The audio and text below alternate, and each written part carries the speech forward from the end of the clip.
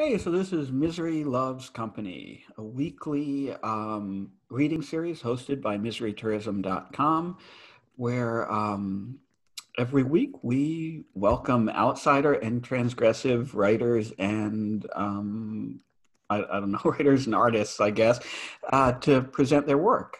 So um, I'm not gonna not going to fuck around here, not going to belabor, belabor this. Uh, Gabriel is up first. And Gabriel, you have some uh, new, um, newly written poetry, right? Yeah, let me, let me grab it real quick. Sure. Uh, oh, I've got the link. I think that should work. Yeah.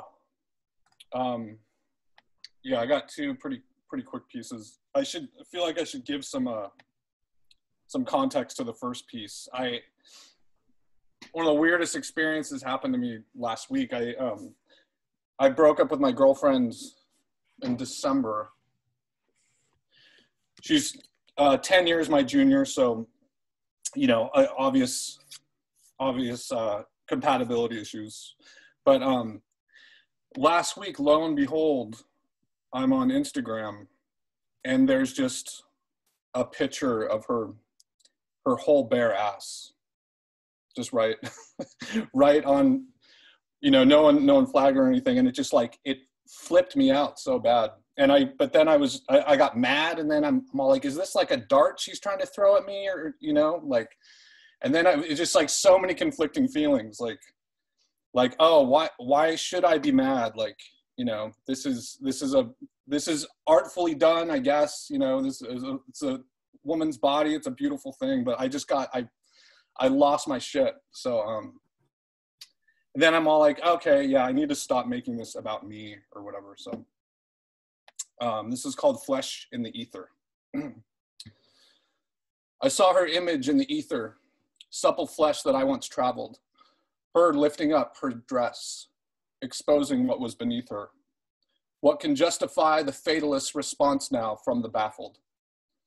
The photo doesn't fade away, decisive as I left her. And I know God her made I know and I know God made her this way, but now who will protect her? The frame fully developed. No, I can't give her direction because I cannot cease my staring at her, searching for my reflection.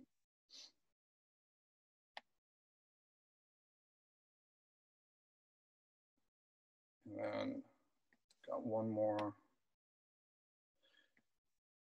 Um, this is sort of, I wrote this a little bit ago. This would probably be my like definitive pandemic poem. Um, it's called Time Out of Hand. Sitting on the porch, waiting for my disability, the mailman drives a Toyota truck so it makes it hard to see whether they're giving or whether they're taking from me. I've got a last sip at the bottom of the bottle that's in front of me, and I'm about to burst, haunted by the ghost of poverty. If they don't have my money, I must still get up to mark my territory. And I feel a little dizzy. Then I'm relieved it's only me grieving. Sitting in your Porsche, driving through your land of make believe, you're gonna be a corpse and you can't take it when you with you when you leave. Just look at you and all your freedom now that there's no one left on the streets. How does everyone think they're a professor of anthropology in times of rumored doom or of absolute uncertainty, I'm already writing my will, yet not offering any apology. The only thing I understand this time is out of hand. The only thing I can demand this time out of my hands. The only thing I can believe, the only gift I can receive this time is all out of my hands. Wow, those were great. I really love the way both of those poems conclude. You really do an excellent job of working towards that final. I don't want to say punchline, but it, it's it's like a vicious sort of punchline, right? It, yeah, yeah. It's a real, um, it's a real, and because both of these poems are kind of like jabbing outward at first, and then they become reflexive, right, or reflective rather. Yeah. I, I think that's really an interesting like disarming kind of approach you know to have poetry that seems so like at first seems so confrontational and so at war with the world in some ways and then at the end there's this kind of like kind of like collapse into despair and like you know self-reflection. I, I don't know i think they're really really well structured. Oh, i appreciate that. Definitely. Um next up is i have too many tabs uh next up is john if he's with us um sure, sure. john are you um yeah um Great. Yeah. Hey. I wouldn't mind waiting though if somebody else wants to go. Sure, absolutely. Um, if you want, I can have Josh go next and then you. Would that be easier? Yeah, I know you yeah, just kind of got home or just. Yeah, yeah. I just need a minute. Yeah, absolutely. No problem. Josh, are you with us? Yeah, let me just uh, start video. Yeah, uh, okay. So just uh, I was going to read something kind of new, kind of old, but then uh, I wasn't really quite ready. So I figured I would actually read something um, from uh, the first edition of the Great Lakes Review. Um, it was the first thing I ever got published in 2012, and it was one of the first stories I ever wrote. And then uh, I thought I was really great, and then it took seven years to get another thing published. So wasn't expecting that. Um, so I'll just get into it. It's called uh, Faith. Um, surely I'd hit a new low. The thought occurred to me often, as my lows were many and varied in those days. My aunt Rosemary was putting me up. She converted her converted her vanity parlor into a makeshift guest room. But to enjoy this relative luxury of accommodation, I had to feign zealous and unquestioning faith in the Lord. To think me, a worldly young man who'd read Sherwood Anderson, Knut Hamsun, and Henry Miller, having to concede to such atavism. My aunt wouldn't hear of any nephew of hers turning agnostic, or worse yet, atheist. So, swindling an old lady out of room and board, eh? I thought, well, no matter. I didn't believe in lying about one's convictions, but I had even less of a belief in going without roof, a roof over my head and food in my stomach. And what food it was. If my life at the time seemed empty and void of substance, my stomach was anything but. I was served great slabs of roast beef, filet mignon, and pork stuffed with fresh crab meat and served with peas, carrots, and mountains of mashed potatoes. I carved a hole in the middle of the golden yellow pile of potatoes on my plate, pouring gravy in the center. I pretended the mound of potatoes was a volcano and that the gravy was lava. I imagined the peas to be the, the readers of best selling contemporary literature. Then I took a spoonful out of the volcano wall, condemning the, pea, condemning the peas to a molten death. It seemed to taste better that way. I ate voraciously, but dinner at my aunt's wasn't just a time of food to mouths and knives and forks to plates. It was also a time of talk. This talk scared me most. I was afraid my tongue would betray me. This fear was augmented by the presence of my Uncle Saul, a worldly man like myself. When he got me talking, I was liable to say anything. He'd sold bogus stocks in Monte Car- Carlo, sought financial backing for a film in the United Arab Emirates, and when exotic destinations no longer appealed to him, sold paper in the city until his retirement three years prior. He was also unparalleled in games of trivia, drawing from a vast but inconsequential pool of knowledge. He'd tell you which two states had only one consonant in their names without pausing to think. How many goals had Gretzky scored in the 93 season? He'd tell you that too. He knew a hell of a lot about nothing. The most impressive thing about him, though, was his hair. It was an affront to death itself, as thick and full and brown as it had been 55 years ago. Great tufts of it sprouted endlessly from his uncommonly fertile follicles. Dense, coiled, and impossibly curly, the hairline framing his average sized ears resembled a hedge. Being particularly fixated on my own mortality at the time, his hair stood before me as an age defying edifice. Sometimes when I spoke to him, I was really addressing the hair, my eyes focused on the area directly above his forehead.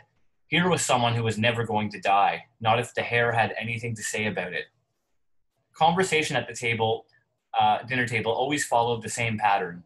It began innocently enough. We could be talking about a television program on deep sea aquatic life that my uncle and I had watched the night before, or something one of us had read in the paper that day. Then, without warning, my aunt would deem the subject of our discussion an abomination. There was finality evoked in her tone. In her tone, you didn't argue.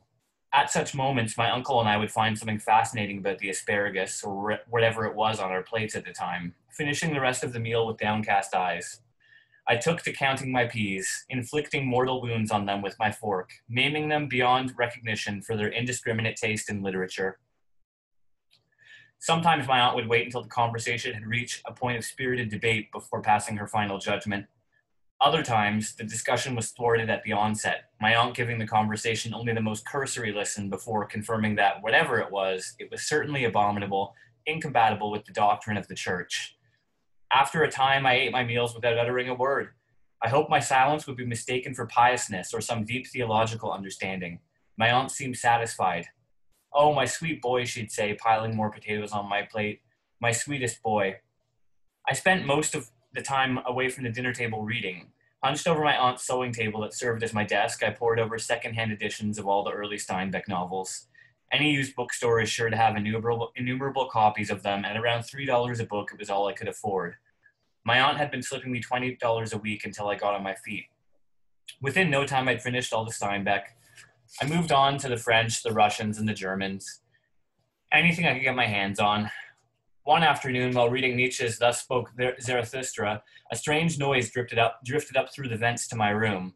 It was faint at first, dreamlike, almost impossible to make out. It was my aunt. She was singing her hymns. I was able to decipher part of a verse.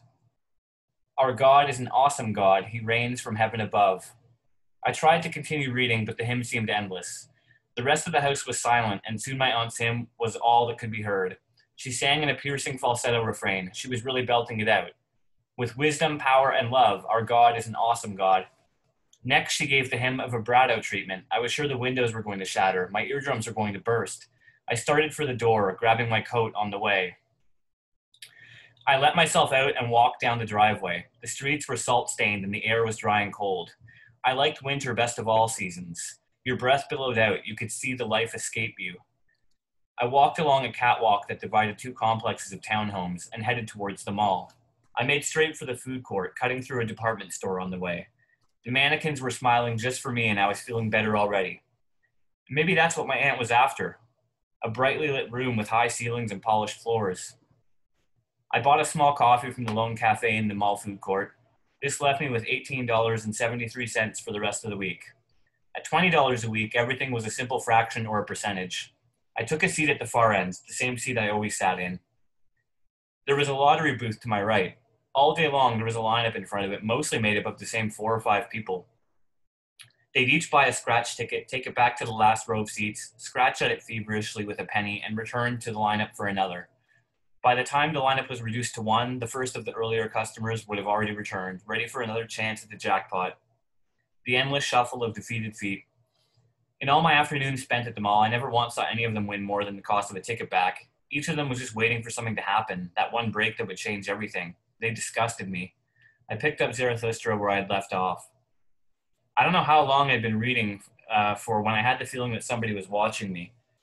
I looked up. Standing before me was a squat Filipina lady of about 40. She was wearing a black wool cardigan and a modest white blouse. The cardigan seemed to have attracted every ball of lint in the mall. Navy blue slacks neither concealed nor enhanced the lower half of her figure. They were simply clothes that happened to be on her. She wasn't really wearing them the way some people did. She held a Bible tightly under the crook of her arm. I see you're reading something, she said. Well, clearly I was dealing with someone who possessed highly developed skills of observation. I said, Yeah. How about reading this if you have the time, she said, extending a pocket sized booklet towards me. I waved my arms and I shook my head. No thanks, I said. That should have been the end of it, but she had a territorial advantage. I didn't have the option of shutting a front door in her face. She seemed to sense this. She stood her ground. Well, how about I read how about I read you something from this? She continued, removing the Bible from under her arm. And I said, only uh, if you let me only if you let me read something from this, I said, holding up the cover of my book. Have you ever read anything by him? He has some very interesting ideas on God, namely that there isn't one. As soon as she was out of sight, lost among the weekday shoppers and burdened with the sinfulness of the world, I headed for the washroom. Locking myself inside, I looked at the mirror above the sink. I searched my face. Staring at myself, I wondered, did I look like someone who needed a savior? When I got back to my aunt's, it was already dinner time. My aunt and uncle were seated at the dining room table as I walked in. The places were all set. I looked at my uncle. Something on the empty white plate in front of him had apparently caught his attention. He didn't meet my gaze. I looked to the hair. You're just in time for dinner, my boy, said my aunt. Where did you get off to this afternoon? You left in such a hurry I didn't have a chance to ask. I went to the mall, over to the cafe, I said. I hope you covered your neck. This weather's an abomination. I haven't seen anything like it in years, cold and bleak as anything. I didn't say anything, joining my uncle in a study of dinnerware before us. Were you just reading over there? she asked after a pause. I was until I was interrupted. My aunt looked at me inquiringly. While I was reading, I met a believer in the food court, I announced proudly. For my aunt, there were only two kinds of people in the world believers and everyone else. Lord knows there aren't enough of them in this wicked world, she said. She was the nicest lady, humble too. We had the most interesting discussion, I said. Yes, there were times when you had to put your stomach before your convictions. Besides, we were having Black Forest cake for dessert. And uh, yeah, that's it.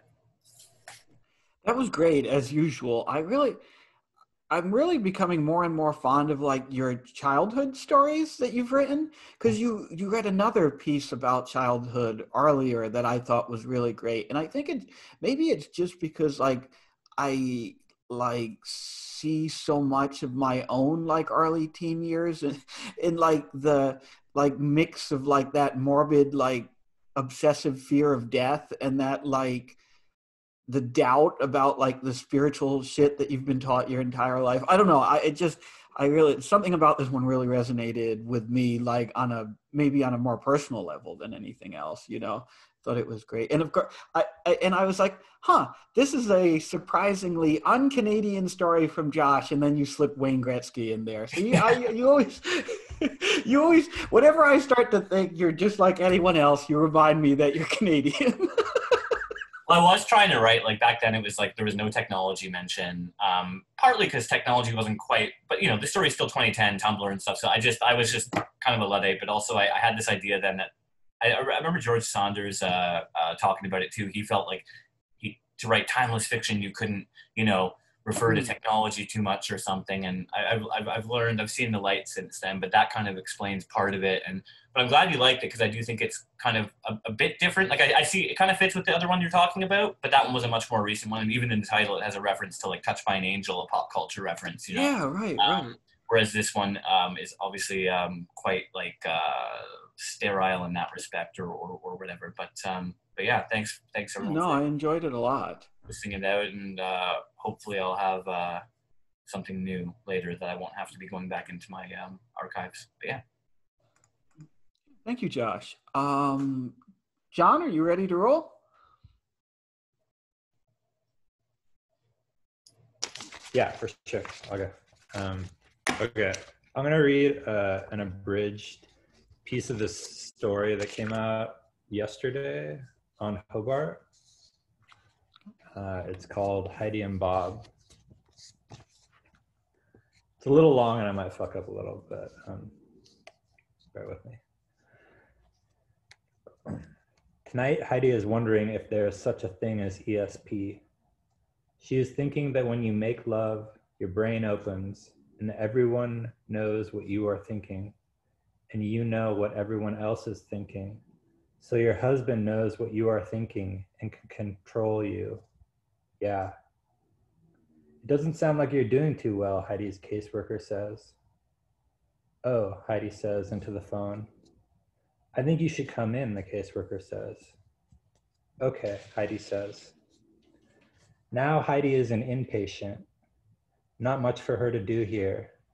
Eat, walk hallways, sleep. Heidi likes to sleep.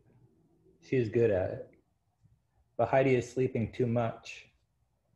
The more you sleep, the more you want to sleep, the doctor says, and gives her a motivation medication. All the medicine does is make Heidi worry. Is everyone she loves angry because she will never not be ill? She shuts her eyes and squeezes until she feels her skull. She opens and sees colors. On Valentine's Day, Bob visits. He is learning to do for himself laundry, dishes, sloppy joes. Heidi wishes she could cook healthy recipes for Bob, but he says, I'm a meat eater. Anyway, the 99 cents only only carries canned vegetables. Heidi wonders how she got her mental illness.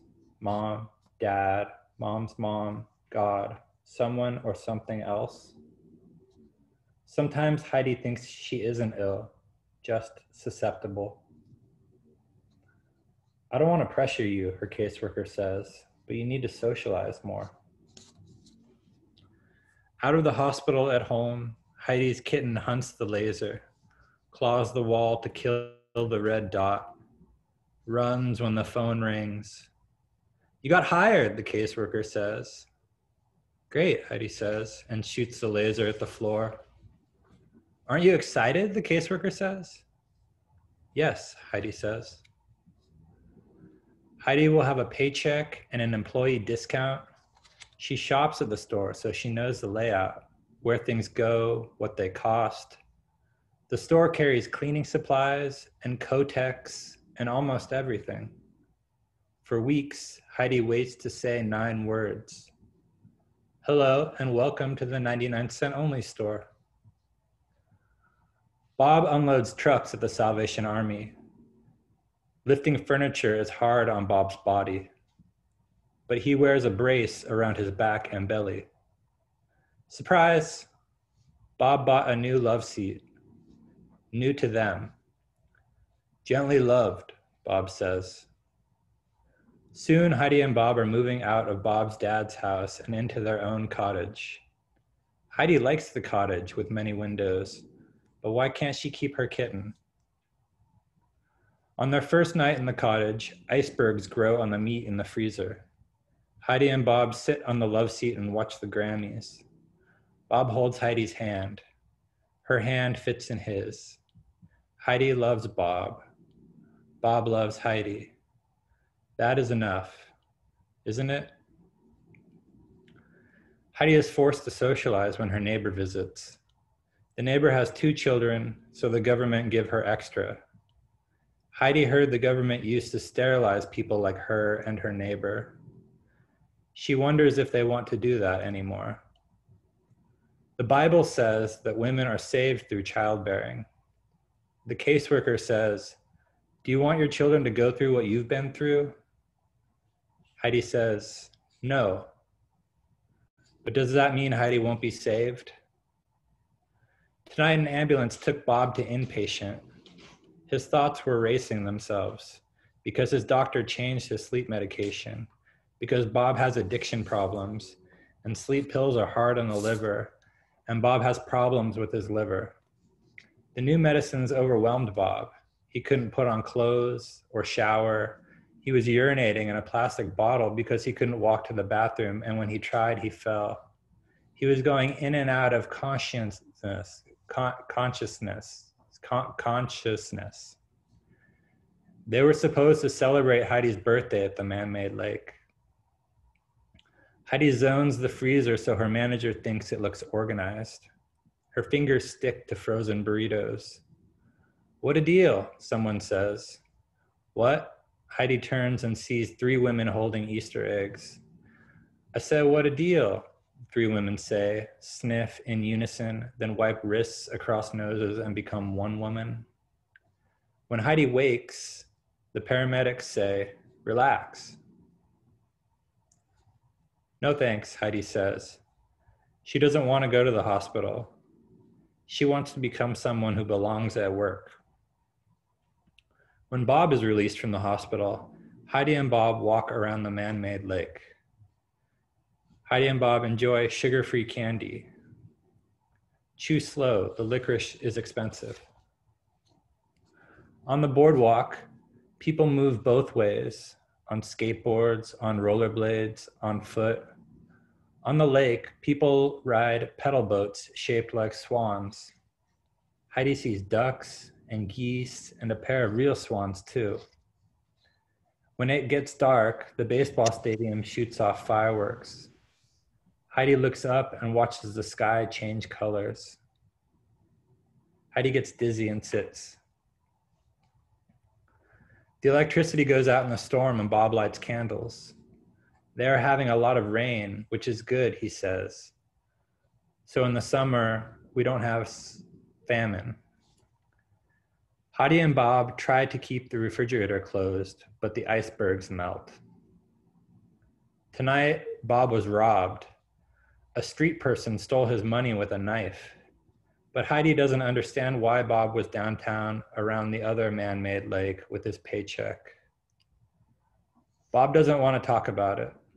He wants to watch music videos with Heidi on the love seat and not talk. He holds out his hand for her. Heidi likes to clean at night when it's hot weather, but also she is wondering how they will pay rent. The other day, Bob had a procedure called rubber banding. The hemorrhoids are tied with rubber bands to cut off the blood flow. They choke and shrink and die. For some reason, Bob couldn't breathe through his nose, so they couldn't give him anesthetic. He had nothing and it hurt. The doctors aren't sure about the knot on Bob's throat. Next week, Bob goes for chemo. Today, the entire outpatient group is going to a baseball game. Heidi is happy because Bob is happy. But when they reach the seats, Bob says, It's nosebleeds. Heidi squints to see the men on the diamond. Instead of the game, Heidi watches seagulls land in the stands and fight for her bun and dog. Heidi didn't know they were meat eaters. There won't be any fireworks, someone says. It's a day game. Heidi tries to visit Bob at the skilled nursing center every day except Sunday because the bus doesn't run. Heidi should go to church on Sunday, but she loves to sleep late. Bob is back from the hospital and acting different. The doctor changed his medication because of the cancer. Now, most of Bob's day is spent in the recliner, listening to music loudly and watching videos that don't make Heidi happy. So far this year, Heidi and Bob have had three Thanksgivings at group, at the Salvation Army, and a private dinner in the cottage. Tonight, they are having another dinner with Bob's sister and her husband at Sizzler. Bob's sister owns a house in Texas, but her tenants don't pay rent. She says if Heidi and Bob move to Texas and pay rent for five years, they can own the home. Heidi and Bob decorate the cottage for Christmas outpatient group has a Christmas party. And in a raffle, Heidi wins a wallet, but the wallet is empty. Heidi and Bob are spending New Year's at the neighbors. Champagne pops. Bob smokes pot with the neighbor's boyfriend. Someone says, Rent is going up in the new year. No one could afford it, but they all have to. Heidi is cozy at the cottage window, watching rain fall. In the living room, Bob is watching his porno videos.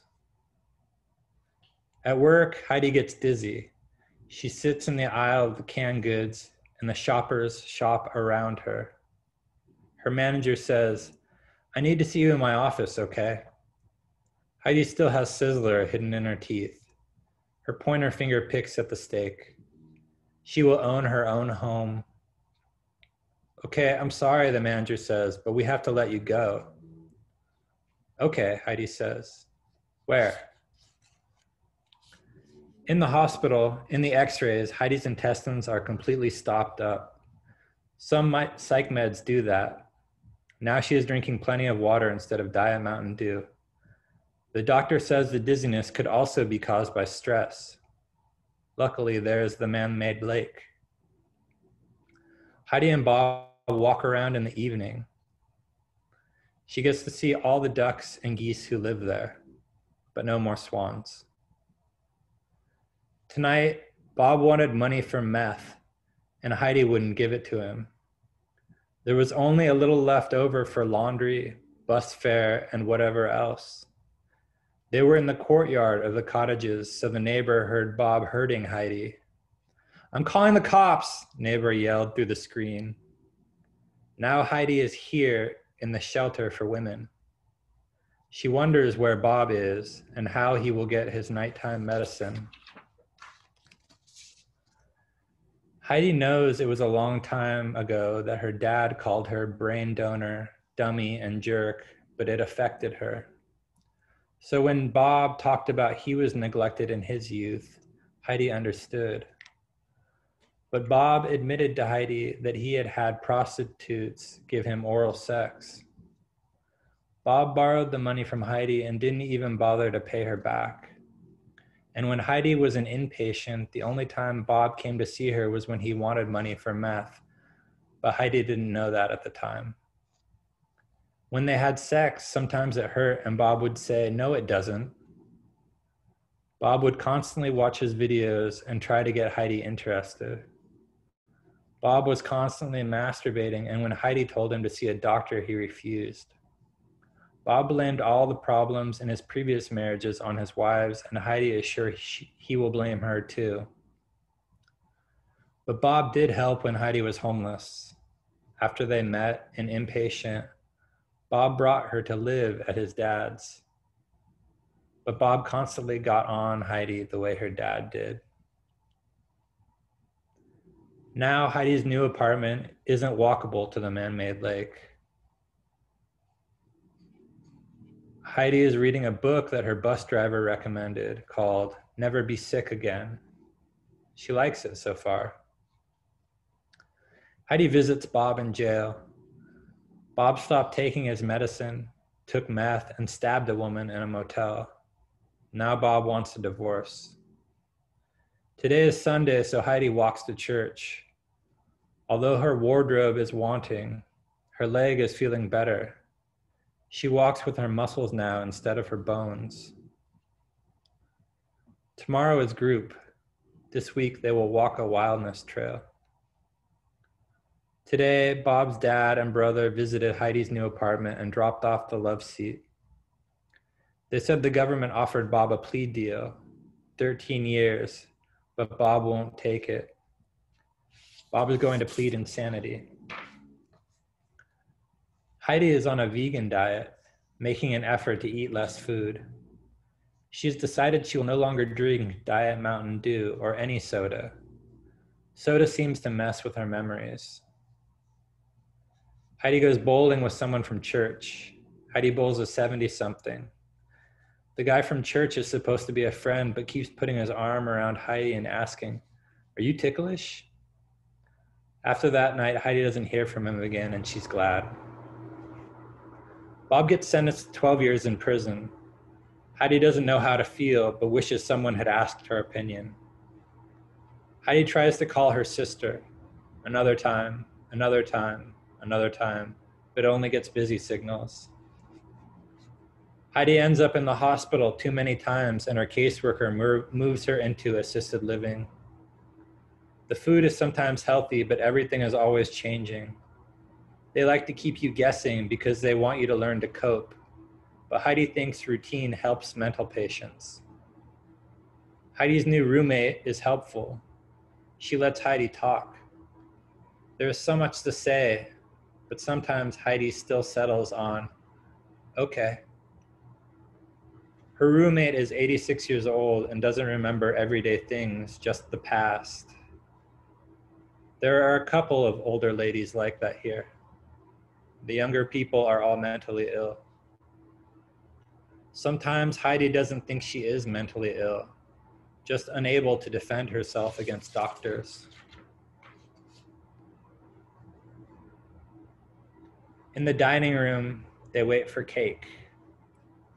The musician strums his thumb down the strings of his acoustic guitar, lays it on its back in the box, and snaps the locks the ambulance lights change color in different ways on the window. When I was in San Diego, Heidi says, I had a vision that hospitals are gateways to hell. God works through medication, her roommate says. But Heidi isn't sure she believes that. That's the end. Holy shit that was that was fucking devastating. Like that i love you were able to evoke so much emotion with such like spare minimalistic prose. It, it's it's amazing. It's amazing like how much work how much like emotional work each word does in that story. It was like holy uh, it it's spectacular. Like i I'm really fucking sad right now. I'm sorry. uh, no, that that was fantastic. Thank you, John. Thank you, guys. Um, next up, uh, Rudy, are you with us? Yeah, I'm here. So, um, you, since this piece is not published yet, but going up on the site, um, going up on Misery Tourism rather, uh, next month. You probably don't want me to post the link out on Twitter, but you want me to put it in the uh, in the chat here for you. Uh, yeah, sure. I can. Uh, I I may actually let me link it actually again. Shoot, I just dropped it. Okay. Oh, sorry. I think that link's good though. Um, okay. Okay. Everybody should be able to see that one. Do you um Uh, this. Want to give a little context about this before you read, or just Yeah, for me to ask about about after? Okay. sure. So this one is about a um. It's about Wesley Willis. It's it's a kind of like auto fiction Wesley Willis thing. I don't know what it is. Um, but uh, there's a review linked in the piece. Um, it's by Stephen Thomas Erlewine of All Music. Uh, it's basically a review where he talks about uh, Willis, one of Willis's albums.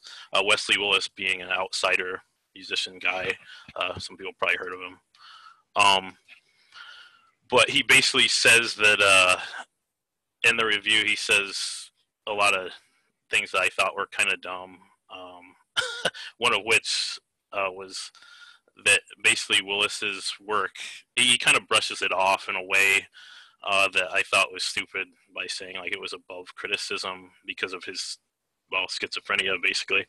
Um, but if you read the review, I don't know. I I don't really know what to say about about that.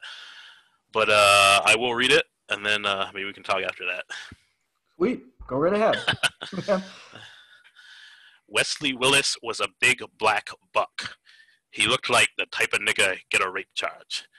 He looked like the type of nigga get his ass beat by Batman. Batman was a billionaire libertarian who got off beating homeless people and the mentally ill. He was a fucking asshole in the first place. Batman beat Wesley Willis up and put him in Arkham Asylum. He was locked in there for 300 days. A lady doctor evaluated him. She wore too much makeup on and off the job. You're a goon and a clown, Wesley said.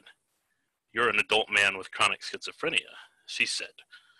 He masturbated to her feet and shoes later that night. He was heavily medicated and couldn't come. Batman whooped Wesley's ass. Xanax whooped Wesley's ass. Risperdal whooped Wesley's ass. The Fire and Forget bandwagon battle cry of Get Therapy whooped Wesley's ass. Zoloft whooped Wesley's ass. Wesley whooped Wesley's ass. Wesley was fucked in the ass by 50 killjoys on Reddit. He was fucked 25 times by disability ethicists. He was also fucked 37 times by reviewers with a humanist bent over a wheelbarrow, and 11 more times in a random Quora question. He was fucked in the ass by a knight of the Ku Klux Klan dressed as a critic of outsider art's uncomfortable relationship with queer BIPOC artists. His ass was a bit ruptured. His genes predisposed him to getting ass rammed. Wesley, Wesley, Wesley, Wesley, Wesley, Wesley, Wesley the uncriticizable, friendly spook. Wesley was fucked in the ass brutally, and the 50 killjoy semen was pissed away into anal cavity, creating nothing. He was up to his eyes in killjoy jollies. They were so full of shit, he had to come. This guy really shot a load, and so- someone said about his legacy. And he took his own foreskin and mutilated it to create accessible art. Wesley, Wesley, Wesley, Wesley, Wesley, Wesley, Wesley the uncriticizable, friendly spook. Wesley was taken to a hospital by police car. At the hospital, he told the clinical therapist crisis worker to say something useful. After the clinical therapist crisis worker said something useful, He got on top of Wesley and told him to levitate with mindfulness techniques. So far, Wesley was diagnosed by using the DSM like the I Ching and became Goose for super duper drug stupor maneuvers.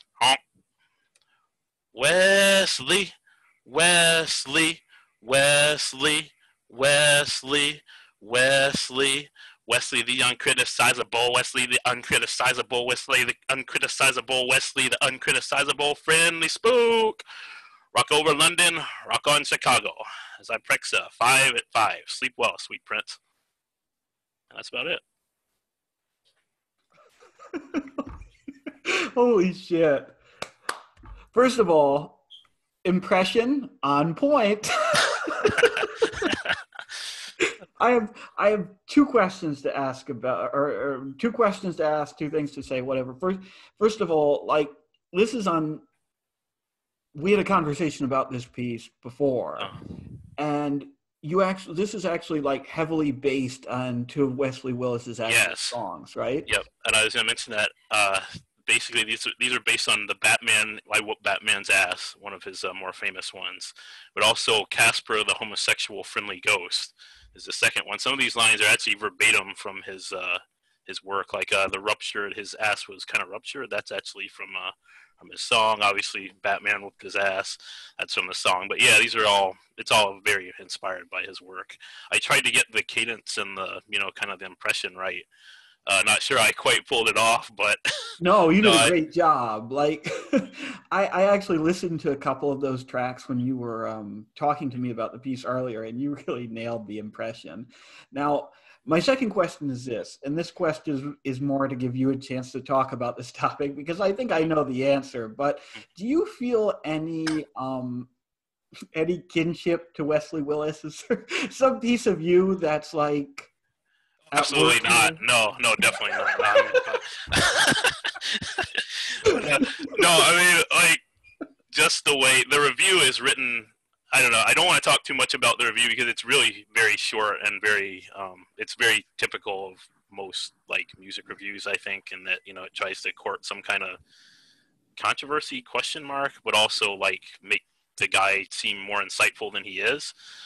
Um, but basically, I really don't, and I said this in the uh, in the Skype chat. I think when I put it in there, I don't really like things that kind of brush people off because of their brush brush the like people off as far as art critique goes because of mental illness, and I think that that's something I've seen kind of applied to some of my work, um, and it's uncomfortable. It's dumb, and uh, like Willis obviously was schizophrenic and and it's like that token informed. too, It's right? tokenism too, Yeah. and the way like he was. I mean, obviously, like I guess he was kind of similar to Daniel Johnston in the way um, his work was received. You know, some people, you know, laughing at it and like, hey, you know, that's that's that this big black dude up there saying shit and like going out of his mind, and like we kind of think that's funny.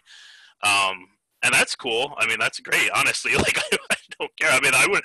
I mean, um, but I think there's a personal side of it. Obviously, I mean, there's personal side of everybody's work, but there's the the personal stuff. I don't think you can really brush off um, either. Um, and to say that it, he's basically above criticism, that's like an insult. That's basically saying I'm not going to engage with your work because you're a schizophrenic weirdo. Um, and that was the main thing that set me off and um, made me inspired me to kind of write this was that idea of just brushing work off because it's weird or because it's it's like well I can't engage with that because I'm not you basically which is useless so Yeah, right. And it's more offensive on some level than just like outright criticizing someone's work, right? Like saying, oh, well, because you suffer with mental illness or because you're black or because you happen to be black and suffer from mental illness. Like, I'm not going to touch this. Like, as opposed to being like, I don't know, that kind of sucked or like that at least yeah no I mean that's the thing like I mean, once at least that you can answer but that kind of like perspective that like on the one hand tokenizes you and on the other hand Yeah. like diminishes you and reduces you to whatever the fuck like you are minus your art is really like that stuff that's skin crawl shit you know definitely yeah Thanks, man. I am. I. uh Sorry, I'm still. I'm thinking about the delivery. And that was fucking. That was great. I'm gonna have to. You're gonna have to do more pieces in the voices of other um famous or like infamous personalities. I, I want to hear more. Of that. Uh, yeah. Thanks, man. Um, so while while you were reading, um, Graham sent me a message saying that he wanted to read. Um, are you with us, Graham? Yeah, I'm right here. Cool.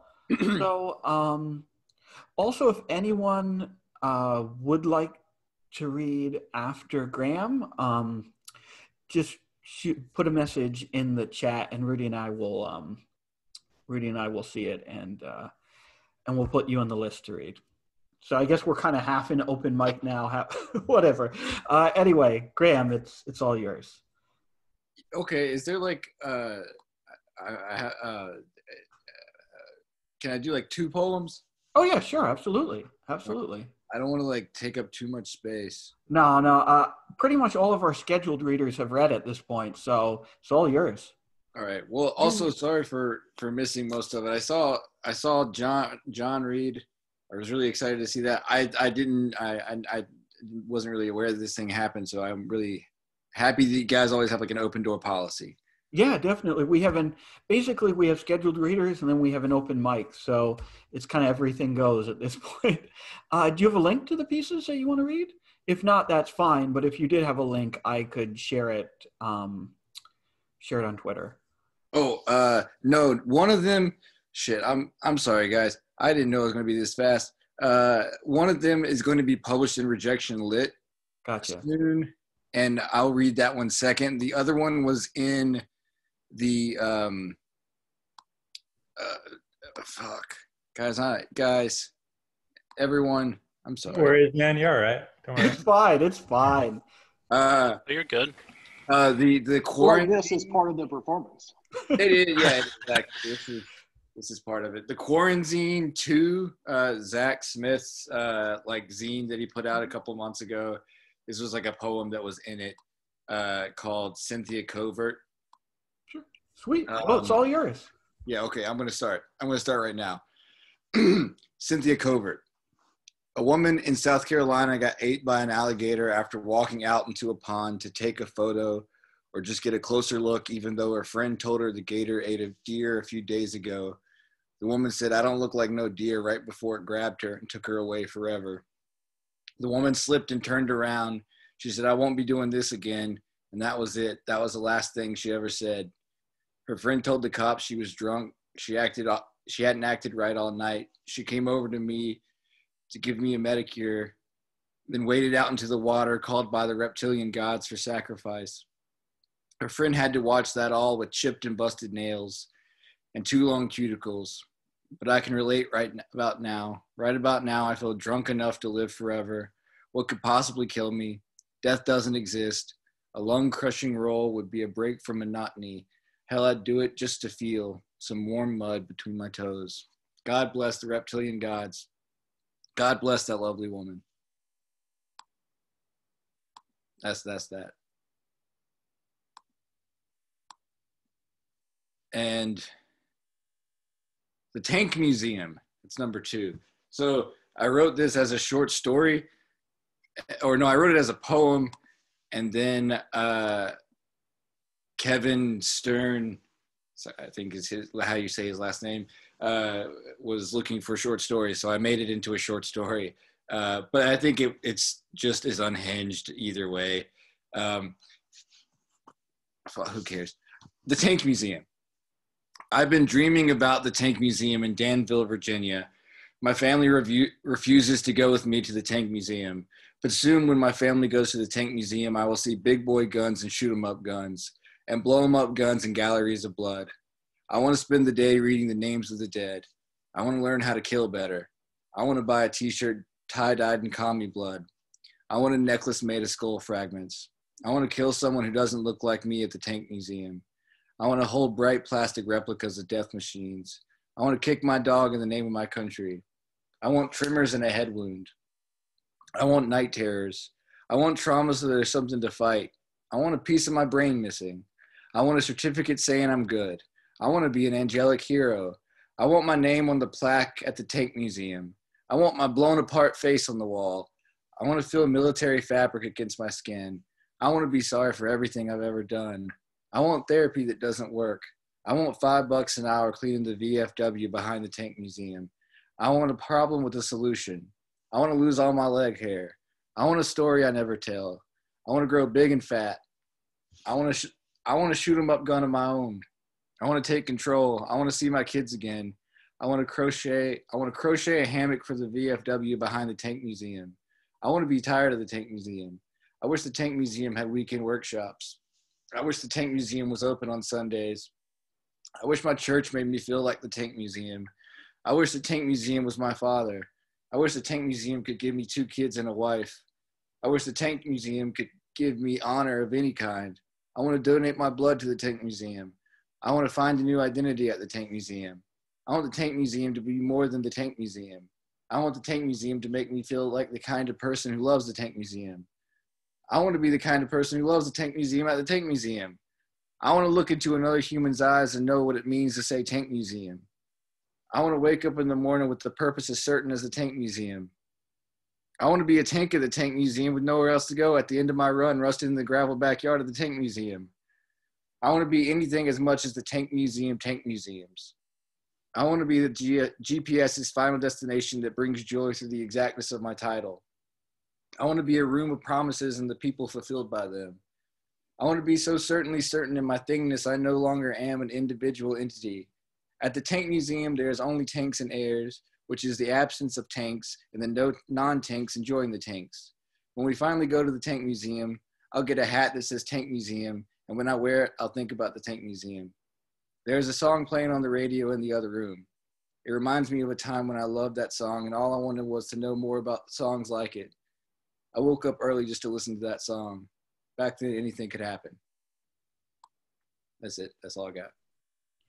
Oh wow, those were fantastic. the the chat's going wild about the Tank Museum one, but no, I mean that was first of all, they were both fucking hilarious. But um, I really loved the first one because I, I love poetry that deals unromantically with death, and, it's just like the entire premise of like that entire exchange between the woman and the alligator is like at once like totally fucking unromantic, totally like refuses to like glorify death or make death seem like it's transcended. But on the other hand is like still like deeply beautiful on some level. And that was just wonderful. And like the tank museum one was a fucking laugh riot. That was Yeah. thank you man that was fantastic No problem at all. I'm glad you guys enjoyed it.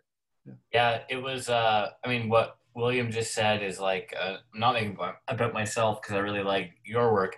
It was just um, I, I did a thing Challenger uh, shuttle uh, tragedy, which was very similar to kind of the alligator the, the the alligator thing. When I when I read the alligator thing in the quarantine too, I was like, yeah, that was like by far my favorite one in there. And then to hear you read it was was nice. You know, totally. And I, I think I even sent it to friends who are who only read me because they're my friends, not because they read poetry, and and they also really liked yours. So, Yeah, yeah. uh, and I also really like the in the second poem, like I don't know. I realized actually as I was putting a manuscript together that like I had a bunch of poems that had I want so much in it, and I think it's like an earnest expression of like I don't know, I don't know. I just I, I like it as a as a device. Um, also, uh, several women I've dated have said like I, I I want things, but I don't actually want to do things, and I and I like that. Uh, anyways, but yeah, Yeah, yeah, and I, I think I think also like the the litany kind of thing in poetry is maybe easy, but also can go. I mean, I don't know. I think it like I, I'm really obsessed with like the re- repetition of anything. yeah, It feels like a way of of um, getting uh, uh, lost in in whatever it is. So like with the the thing, yeah, just saying Tank Museum over and over again. I took out a big part where it was like I think I changed it because I had to like make it into like the frame of, of the character going through that. But in the original version, it just was like the word tank museum, tank, tank, tank for probably as long as the poem was already. Um, but then I was like, that uh, is not as satisfying as uh, a a sweet, genuine memory. Yeah, no. I actually just learned that, that device. I mean, I think unless I'm um, um, misrepresenting it, it's a, an. I learned it uh, a, a rhetorical device. Just um, I don't know definition here, consisting of repeating a sequence of words at the beginnings of neighboring clauses, Mm. uh, thereby lending them emphasis. But yeah, I just yeah, I really like that. I like. I mean, when done well, but it can it can go it can go awry. But yeah, this did not. Anyways, thanks for reading. I, I like to I like to hear them out uh, out loud after having read uh, one of them. Thank you, man. Yeah, thank you so much, Graham. That was great. And I hope you'll keep coming to these things now if this was your first one. It was, yeah. Hell yeah, I'll definitely come back. Awesome. um, so while you were reading, I think Bibles sent me a, uh message saying he'd like to read. I see you in the participants list. Are you still with us, Bibles? Yeah, I'm here. Awesome. It's all yours. Um, so, Um, sorry, Oh, sorry. Sorry. sorry, Bibles. Um, was Eric uh E or was that? Um, I think I saw some a message from Eric E that said they wanted to read also. Yeah, that was me. All right. oh, Okay. Oh, It doesn't um doesn't matter to me who. Yeah, Bibles can go first, um, and then I'll go after that. Okay, cool. Okay. I don't have a lot of time anyway, so it won't. It shouldn't be very long. Okay. It's all yours. Okay. I'm stuck, ingrained in the film. There's no time to write. There's no separation. Bibles is melted into the cement. We were right all along. Our eyes did not deceive us. I must be present. I must dedicate my time to the family. These children are my responsibility. My wife is completely dependent upon me. I'm, I'm proving my worth. $70,000 is possible. We could get into the house of our dreams, jumpstart our lag. It's just a starter, but the business could collapse tomorrow. It could collapse before the bookstore. Doesn't matter that it does 10 million a year. We pay that and more in damages. It's not mine to keep. I'm a nuisance. Why are you bringing this to my attention? asked my father. Have you been wasting time all this while? Is there even any reason to replace you? Are you worth anything at all to me? Father, I'm a writer. I'm more important than either you or I am aware. I'm Manuel fucking Marrero, man. Ever heard of me? I'm a Nobel Peace Laureate. I'm good at the game. The personality is melted into me. My tulpa and I are one. The coin has fused. We are spendable currency now. It's all coming together. The planted talent has sprouted. He's asking if I'm trying to teach him something or if I have an actual question. Both, I reply, or something like that. I have an actual question, something that I'm stuck at. I'm trying to reach you, Father. I'm trying to take your mantle. They hold me in disregard. I'm the father of contemporary literature, Dad. Please, this is part of the script. This is the narrative that we're handling. I have to overtake you. That's what's going on here, right, podcast crew? Right, of course, Bibles. You're the man with the plan. Sequels are for squares. I'm on something like my 10th novel, just plugging away and I'm pecking at the progression like a chicken for its worm. I'll get those marquee lights, Dad, I say. Working at this shop with his name on the signal sale. Put your phone away and pay attention to the children, shouts my wife. She doesn't understand this is my big break. Fine, I say. Short, quick burst it is, in hiding, in secret. It's not that the people need my voice, it's that I need them to hear it. I need their attention. It validates my entire existence, babe. I couldn't take on my father without them. I wouldn't be able to be a man myself. The narrative has become my backbone. The spine of the book is the spine of myself. It literally flows through me. It literally controls what I do. It helps me stand tall. It helps me understand my place in this world. It's not all about you, she says. You had your chance, shot your shot. I'm over here doing the dishes, she continues, while you're out pleasure cruising with your Comstar cult. It's not a Comstar cult, I tell her. They're my friends. They're business partners. We can make real money doing this, babe. I've already recorded an ad. We'll insert it into the next episode. Gary's husband wants the same things you do. He's gay, by the way. Gary and his husband. We all want the same things in life. We're just trying to move up in the world. Art had to be pure, I continue. It won't last if it's not quality. It can't look fake or contrived. It can't serve simply as a moneymaker. It becomes garbage. The machine fails. Money is a reward from heaven, but if you're not making art, you're making garbage, and nobody likes garbage. The money shouldn't even come directly from the art. The art made purely feeds your life, which makes you your money. Money is basically life. You can't live without it, despite what everyone says. But I'm not going to be out there cha- charging fees to edit. I'm not going to be trying to angle this spiritual act. I wouldn't attain it for the world. Don't bother me in this regard anymore. It just brings me so much closer to ditching you. I'd pay alimony before using my art to beg for money. This whole conversation makes me sick. It's like looking at a sea urchin. You're disgusting me. I wish you never brought this up. You're such a liar, she says. You charge for every second of attention if you were man enough to me. You're a pussy. That's why you're poor. I'm not, not on John Bianca's podcast or on Dennis Cooper's blog. You wouldn't have to be in this steel situation if you had balls. You're wasting everybody's time. Get over yourself. Act like you're so much purer than everybody. It's times like these that make me want to walk out. Abandon the children. All my responsibilities. The house hunt, the steel shop, my parents' guns, the drug policy, the no vape policy. What I wouldn't do for a so-called schmick let my nuts loose again. It doesn't matter that I talked about the thing on my dick. It was probably just a skin tag. Honestly, nothing's ever popped back up, I swear. I'm as clean as a whistle and I'm a Scorpio. It's worth it. Everybody is well aware that I got potent sperm. I think a baby's Bibles is an appealing concept. Who wouldn't want their own little Derek crawling around? And I'm knocking on Manny's door. I'm like, knock, knock. The man is free. The soul let loose. You couldn't keep me in prison forever, pulling out my Smith & Wesson and shooting myself on his front porch. I had failed family was a good thing. The stress needed to keep my writing desperate. I just wanted to see what he had done, what he had driven me to. I couldn't stand inside. I just couldn't stand not being able to fully let loose.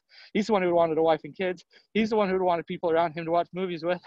I just wanted to be free, basically, not to exist. Yeah, it's not the salt flats, but there are a lot of places that waste a bullet in that situation. Places that one can kill themselves, I mean. Brinkley, I wouldn't waste a bullet in that situation. How dramatic. Sounds like something State Farm Jake would do. I'm more of an out in the middle of nowhere guy. On my flat throne in the throes of darkness, coyotes howling in the distance, the blood seeping into the sand, a statement piece of my personal kind. Probably how I'm going to do it, especially if I see the dementia really start settling in. Hopefully, I'm not too far gone to test my balls because I'm always up for a dare. I just want to go out a legend. I don't want to outwear my welcome. There's so much content. Surely I can simply wash it away and away, away it. Yet here I am creating more of it. Y'all should be spending your time with someone else. Who am I kidding? Pretend they're not there. I'm on the salt flats. Cut off all communication. Hand over the podcast to Gary. Just don't forget that I'm the boss, damn it. I could make him the boss or Derek, but he's just a child, a baby boy, a baby boy who loves to read. That's how it's going to be. And I'm watching and forcing myself to pay attention because who doesn't want that from their dad? God, what wouldn't I give? But my dad's too big of a dullard to tackle any of these concepts. He'll let me down out here. I'd let anyone else drown up there. Oh shit. But anyone that, that that really, they could all be my children. I give all of them the attention and love they are seeking. I don't have the time. This is a real thing. It has to be done. It's got to be a special boy. I'm not going to be able to spend that time with my son. That's why you turn travel. I understand Sunday, the special breed is a clever trick. I'm not to tell you well. I may not be giving you the service you deserve, or that I want you to respect you uh, afforded, but that's going to change. You may not be a true prince of shadow and still the changeling that you are, but looking at your little face, the direct attention that you pay me, you're aware I know you are. Look who I'm talking to. For Christ's sakes, you won my heart. I surrender to the children. These fathers in the making. I'm only sorry that I won't be around to see you in that state. Whether I'm dead and rotting or living as such, seeing me now is the true pleasure. The fact that you're accomplishing the feat and idolizing reader's dream is testament to my success. I thank you for that, and I'll love you forever. When you come on the screen, I promise I'll turn it up. I'll look, I'll smile, I won't hold back my laughs. I'll try to find the ways of releasing them.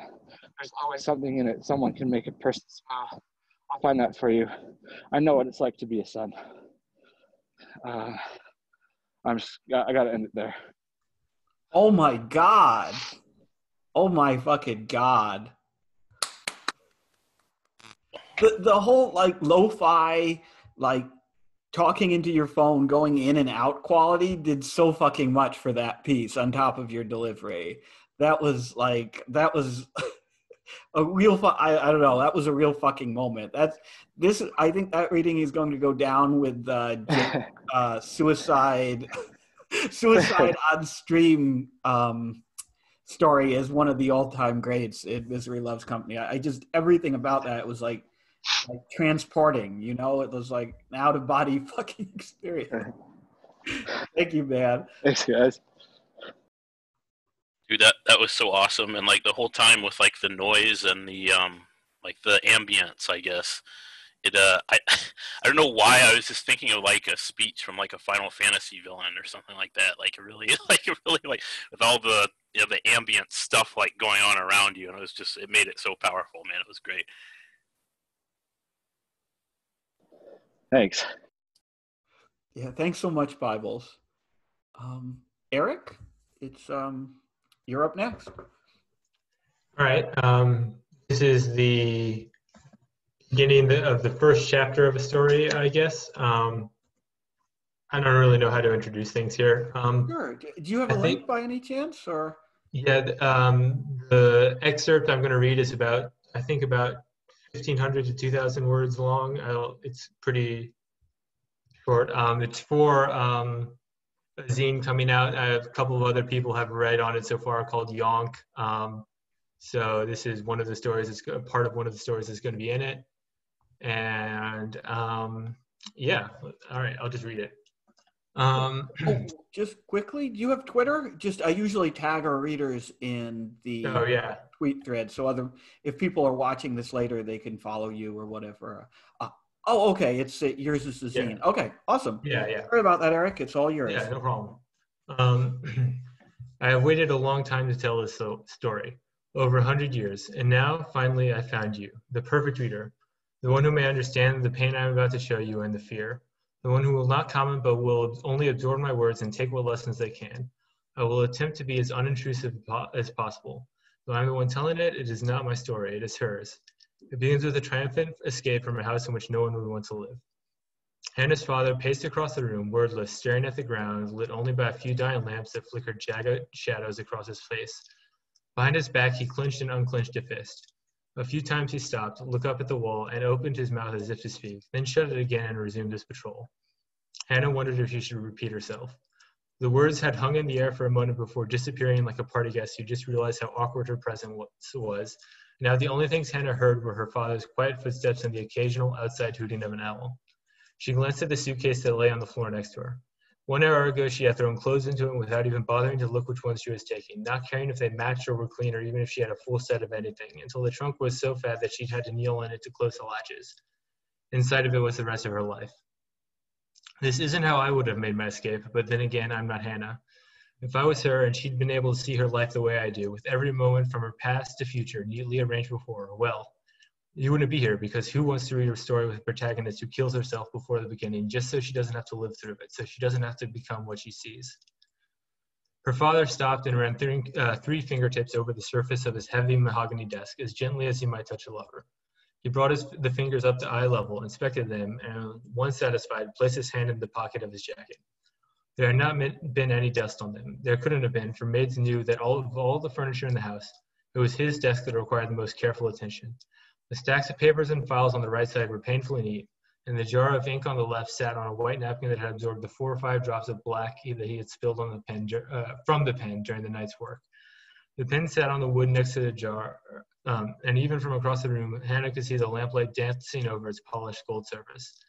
A small group of documents sat in the center of the desk, the accounts and registers he had been working on this day, permits to sign, notices to send, all of which, she knew, bore the same ultimate meaning to be transformed by him into money, money which would be ultimately transformed into land, which would eventually become oil, which would become stocks, which would become offers to sell and buy sitting on his desk, which he would transform back into money, which he would send flying back into the world after tucking a generous amount into his bank account. All of this is my way of saying the cartographers of the day were wrong.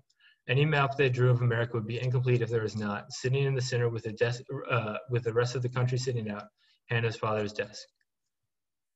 He had been sitting there working as diligently as ever when he, she'd entered the room with her suitcase in her hand and had not looked up as she placed it on the floor. I know I did not leave the door open, he said, and I did not hear you knock, which means you have entered without permission. His voice was as motionless as a loaded rifle. I'm going to San Francisco to search for mother, she'd said. You are not, he said, without taking his eyes from the pages. He dipped his pen into the ink and, with a flick of his wrist, signed a document that would eventually transfer 200 acres of Texas forest into his possession. I hope you won't bother me with such a ridiculous idea. You may leave now. With this, with these words, the rifle was both loaded and cocked, still without a hint in his voice that he was talking to anything other than air. It's my decision to make. If you want to stop me, you'll have to lock me in my room. If you do that, I'll climb out the window or break down the door. I'm going. He rubbed his temple and muttered something to himself before standing up and beginning to walk. When he stopped and met her gaze, the look in his eyes was something Achilles might have worn before battle. blood hungry, coal black in the shadows. If you were born far back enough in the past that such speculations were meaningful, where would this man have stood compared to Alexander? Uh, it is difficult to say, though I'm always a fan of taking the over. It is easier to say what he could would be if born in our 21st century, that is, probably something very similar to his role in the 19th. Though instead of oil, he would trade electric information. Instead of a desk, he would make his deals from a do- phone as he sipped cocktails in a private jet. Instead of America, he would hold around in the world. To most of the planet's people, he would exist in the same way gravity existed in the pre-Newtonian days, or perhaps smallpox. Those who knew him personally would think, think of him like a god sorcerer angel from a fantasy novel, someone who only had to flick his wrist to make mighty kings kneel. These are small, almost insignificant changes to his role in the history, but they are nevertheless modifications. In only one facet of his existence, only one person's view, only in his dealings with his daughter would he remain entirely unchanged. He would stare at her with the same fateful eyes now as he did then, and speak the same words. What inspired this nonsense? Hannah flinched at the words, but the anger she was expecting didn't burst through. He was not quite ready. Don't fire until see, you see the whites of their eyes. I saw a vision in a dream, she said. She knew the answer would be insufficient. Out of all the responses she could have given, none of which would have been enough to satisfy, it was perhaps the most likely to ignite his fury. A dream, he said, and the rifle fired. His blow struck her before she saw him move, knocking her off her feet. It seems impossible to us that he could cross such distance that there was between them in such a short time, and, and impossible that a man who sat at his desk all day could have such strength. But her father's vicious power was no surprise to her. He spoke, and a second later, her head cracked against the floor next to her suitcase, and she was unable to recover before the tip of his shoe punched into her stomach. He kicked, and then kicked again. He knelt down and slammed her face, face with his fist, and he only had the briefest moment to think that this was the last, first time that he had ever hit her face. The first time he had hit in a place where the mark would be visible, before he lifted her up and slammed her back into the floor, and all the wind was knocked out of her. He did not stop as she curled into a fearful ball, did not stop when blood splattered his floor shoe, did not stop when bone crunched under his toes.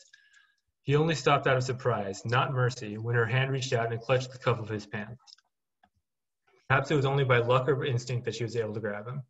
Whether it was one of those or something else, the intervention of God, I am certain that what she did next was the prefiguration of all their actions to come. The world should have shuddered when she did it because as soon as she felt that cloth in her hand, she pulled, and he fell without even a cry of surprise. And even with her eyes closed tight, she knew what happened next by the sound of his head, uh, by the sound his head made as it collided with the floor. She rose to her feet, legs shaken, uh, shaking, ribs broken, and looked at her father. Blood ran down the back of his scalp as he attempted to push himself up again. Before he could recover, she seized the suitcase next to her and with one desperate swing of her arm connected its corner with the top of his skull, sending him reeling face down back to the ground. One arm weakly pushed against the floor, but he no longer had the strength to support of his body and collapsed. Hannah watched him crawl forward. He was moving towards his desk. Did he think he would find something there to save him? Ah, she thought. That's right. I know what it is. She moved to the desk, opened every drawer, and, and found a small revolver. After checking that yes, it was indeed lo- loaded, she pressed it against her father's head. She did not pull the trigger. All the strength and hate she'd felt moments ago was gone. Now there was only weariness. She could not bring herself to kill this man because she suddenly realized that his life no longer mattered to her.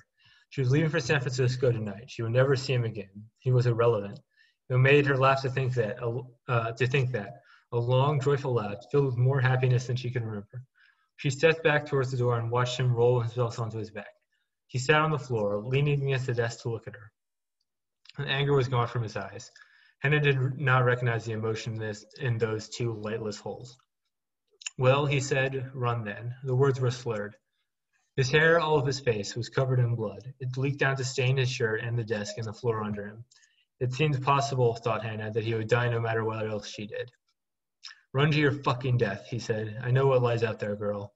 I know what that city is. Lawlessness and death. A weak girl. He trailed off. For the first time in his life, words did not come to him. He gritted his teeth, felt several broken ones in his jaw, and forced himself again to speak. A world like uh, a girl, weak girl like you won't last seven days in the West. Yes, said Hannah, a weak girl wouldn't, but your daughter might. She left her father bleeding for the maid to find in the morning. We all must not be too hasty to label it a miracle that she was able to descend the stairs of her house, still holding the revolver, and limp out onto the road and walk two miles down the road into the city in the uh, dead of night. How could we after what she had just accomplished? How could we without diminishing what was to come? And that's the first part of the story. The rest of the story is in the magazine, um, the, uh, the, first chapter of it, that is, and it's hopefully going to be a novel length thing that I'm working on. So if you're interested in that, there will be more to come. That's it. Wow. What a cliffhanger. I'm actually really, I've been looking forward to the zine because um, Griffin has read some great pieces, Yeah. uh, read a great piece that was going to be in it. And someone else whose name escapes me right now. ARD, uh, that's probably what he went by, a random day. Yes. Yeah. Yep. Yeah. Yes. We had a really great, uh, I think, piece of poetry, like yeah, like satirical, like Heinlein poetry from it. Yeah. I'm really excited about this thing, and listening to your piece only made me more excited. So I'm definitely going to have to. Yeah. I'm check it uh, out glad to hear out. it. Yeah. Um, uh, it should drop Monday. Um, it's basically almost finished. Um, Oh, shit. Just need to get a couple other things together, and then February 1st. And um, yeah, I'm glad you're excited. I hope everyone enjoys it. Thank you for letting me read this. Yeah, yeah. Thank you for reading. And if you or Griffin could shoot me the link when it drops, I'll make sure that it, I uh, post it on the Misery Tourism Twitter account. Yeah. Should I just send it to the Twitter? Or, Yeah. Yeah, yeah. You can just DM it to, or you can just, if you're going to tweet it out, um, just uh, tag Misery Tourism in there, and I'll make sure I Okay. give it a signal boost. Sounds good. I appreciate Yeah. it. Thank you. Thank you so much for reading. Yeah. Thank you. Um, was there anyone else who had Rudy? Did anyone else say they wanted to read? I haven't been following the chat too closely. Uh, I don't think so. I didn't see anybody else in there. But if you do, uh, just jump in. Now's the time. Well, I'm just I need to use the bathroom, so I'm Oh, Derek, take a Derek five minute break something. here. If anyone wants to read, just say so while I'm gone, and then we'll we'll pick up. I'll be back. Cool.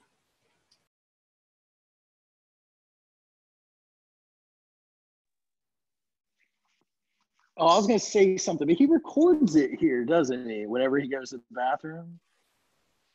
Yeah, it's still Uh, I should recording now. I should pay attention to that. He doesn't have video editing software. Uh, I don't know what he's edited actually. Are you implying he would do work?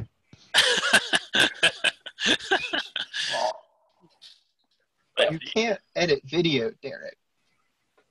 Oh, you oh, video's just. Oh, all right.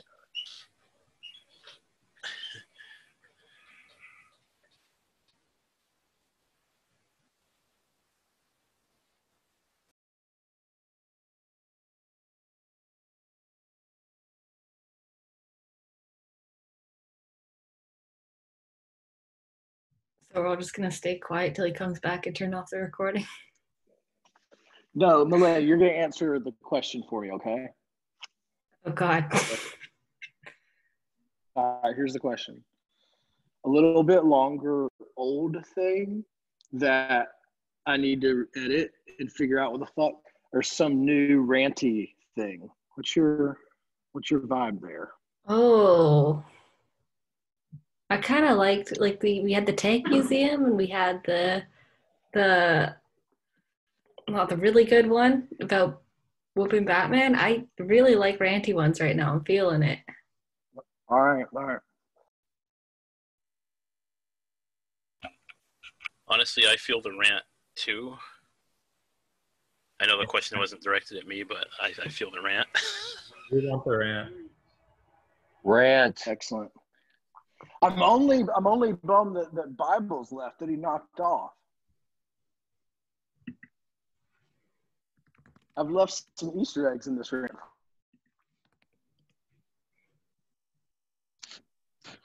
Was, was he talking about you in that No. one too? Were you the Derek? Baby oh Derek? God, I hope not.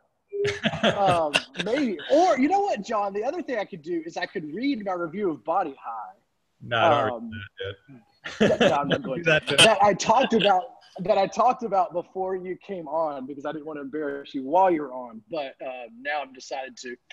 Uh, it it was incredible, man. You you really really wrote like a special fucking novel. I loved it. There you go. Wow. Thank you. My God, I'm blushing. No, that's you're just Irish, like Scots Irish, some sort of That's true.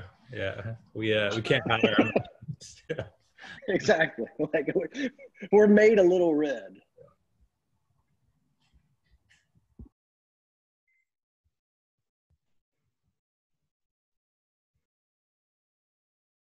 I think you are the baby, Derek. Yes, ge- uh, yes, Durbin. I think I probably am. I'm at an Airbnb. uh, I'm spent the weekend with my son, like on a little trip, but it's just like a condo thing. That I have two. So I travel for work sometimes, and I have a, a work account, right? But then I have a second Airbnb account that I allow as a guest to get down to like two stars, so that I can smoke weed in Airbnbs and trash and stuff. And I'm at. I'm using this account, that particular account for this Airbnb. I I feel like I missed a really good story. um. Okay, uh, Rudy, did anyone um? Uh, yeah, vol- Derek is up, I believe, next. Oh, awesome. Derek. Garrett liked him unhinged too. A lot of people want to meet, admit this, or I don't know, maybe I'm projecting a bit, but it's not often discussed. Garrett was a fairly lazy writer. He knew he lacked imagination, and that's part of what I think drew him to the program. This whole supremely narcissistic idea that your writing can be done without you having to do anything or eventually even exist. And that also drew him to very unhinged characters in his life. He just mined their eccentricities for content. Fallon was perfect for GF in this sense. Oh yeah, Fallon was a fucking wild man. Fallon got arrested once for indecent exposure, had to register and everything. He was at a house show. This must have been 1999 or 2000. A band was playing in the living room. Fallon pulls out his dick and starts masturbating. Garrett wasn't there. Garrett didn't even know Fallon then. Fallon wasn't a critic, and Garrett was barely a writer. 20 years later, Garrett writes name and date of birth and places it in Scab magazine. Perfect, right? And it's just a total fucking retelling of Fallon jerking off in the living room. Except, God, I love this part. Fallon can't say shit about it. What's he gonna do? Um, excuse me, but that first person story you wrote about a guy jacking it in front of a bunch of people and then getting arrested, you can't use that because like that's what I did. That's me. And hell no. He kept his mouth sewn. His record had been expunged. He wasn't knocking door to door introducing himself in the neighborhood pedo anymore. There's no way he was piping up. Fallon did not ever review that story. no, he did not. No, he did not. Another Fallon story, quite illustrative of the qualities of the man. One night, he's pretty deep in his cups at Gatsby's, the shitty Coke bar where fourth and trade split. What he's doing there at that place, in that town, at that hour, God, I don't even want to imagine. Creep. He's drunk enough where he doesn't recognize Thomas Pearl, who is sitting alone in a booth, looking a little disheveled, but still professional through and through. Thomas is kind of joking around in the beginning, asking Fallon what he does for work and whatnot, figuring that you know, the jig would be up quickly. They'd share a laugh, you know, talk about the indie avant-garde scene. They didn't really call it that anymore, where, where the trends were starting, but, but not where the awards were being given out. Well, pretty soon it's clear to Thomas that Fallon isn't fucking around. He really doesn't know who he is. They've never met before, and sure, editors, even editors with the kind of access and clout Thomas had, don't get their photos on book jackets, but it's a small scene, and Thomas has been to plenty of readings, shaken plenty of hands, so he's really rather surprised. Not hurt, I wouldn't say. His ego was bruised, he just didn't expect it at all. 20, 30 minutes into the conversation, and Fallon starts name dropping Garrett. Well, Thomas just keeps up the act. He asks questions, plays dumb. Fallon starts taking a little credit. Oh, he's easily egged on, Fallon. It doesn't take much. Thomas has him so riled up, he starts banging the table and muttering, I picked him. No one ever mentions that. He's great, sure, but there's hundreds of them. You don't even have to dig that far to find the warm bodies of great unknown writers. It doesn't matter if you're unknown. If you're unknown, you don't exist. You never did. I picked him. Whatever. Read him at the right time, reached out, wrote a little about him here and there. Drop his name. Hey, Garrett Frame, that Garrett Frame guy. He's got a new story out. Maps and Micro and Mac were the first person narrators, the son of abusive father, and has to decide whether to rat him out and save his mother. Have you read the guy?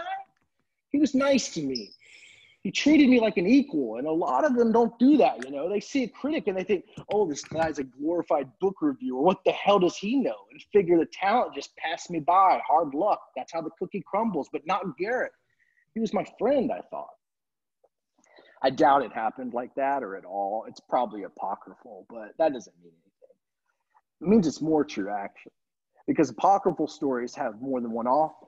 They're told orally over a long span of time by countless people, all kinds of people.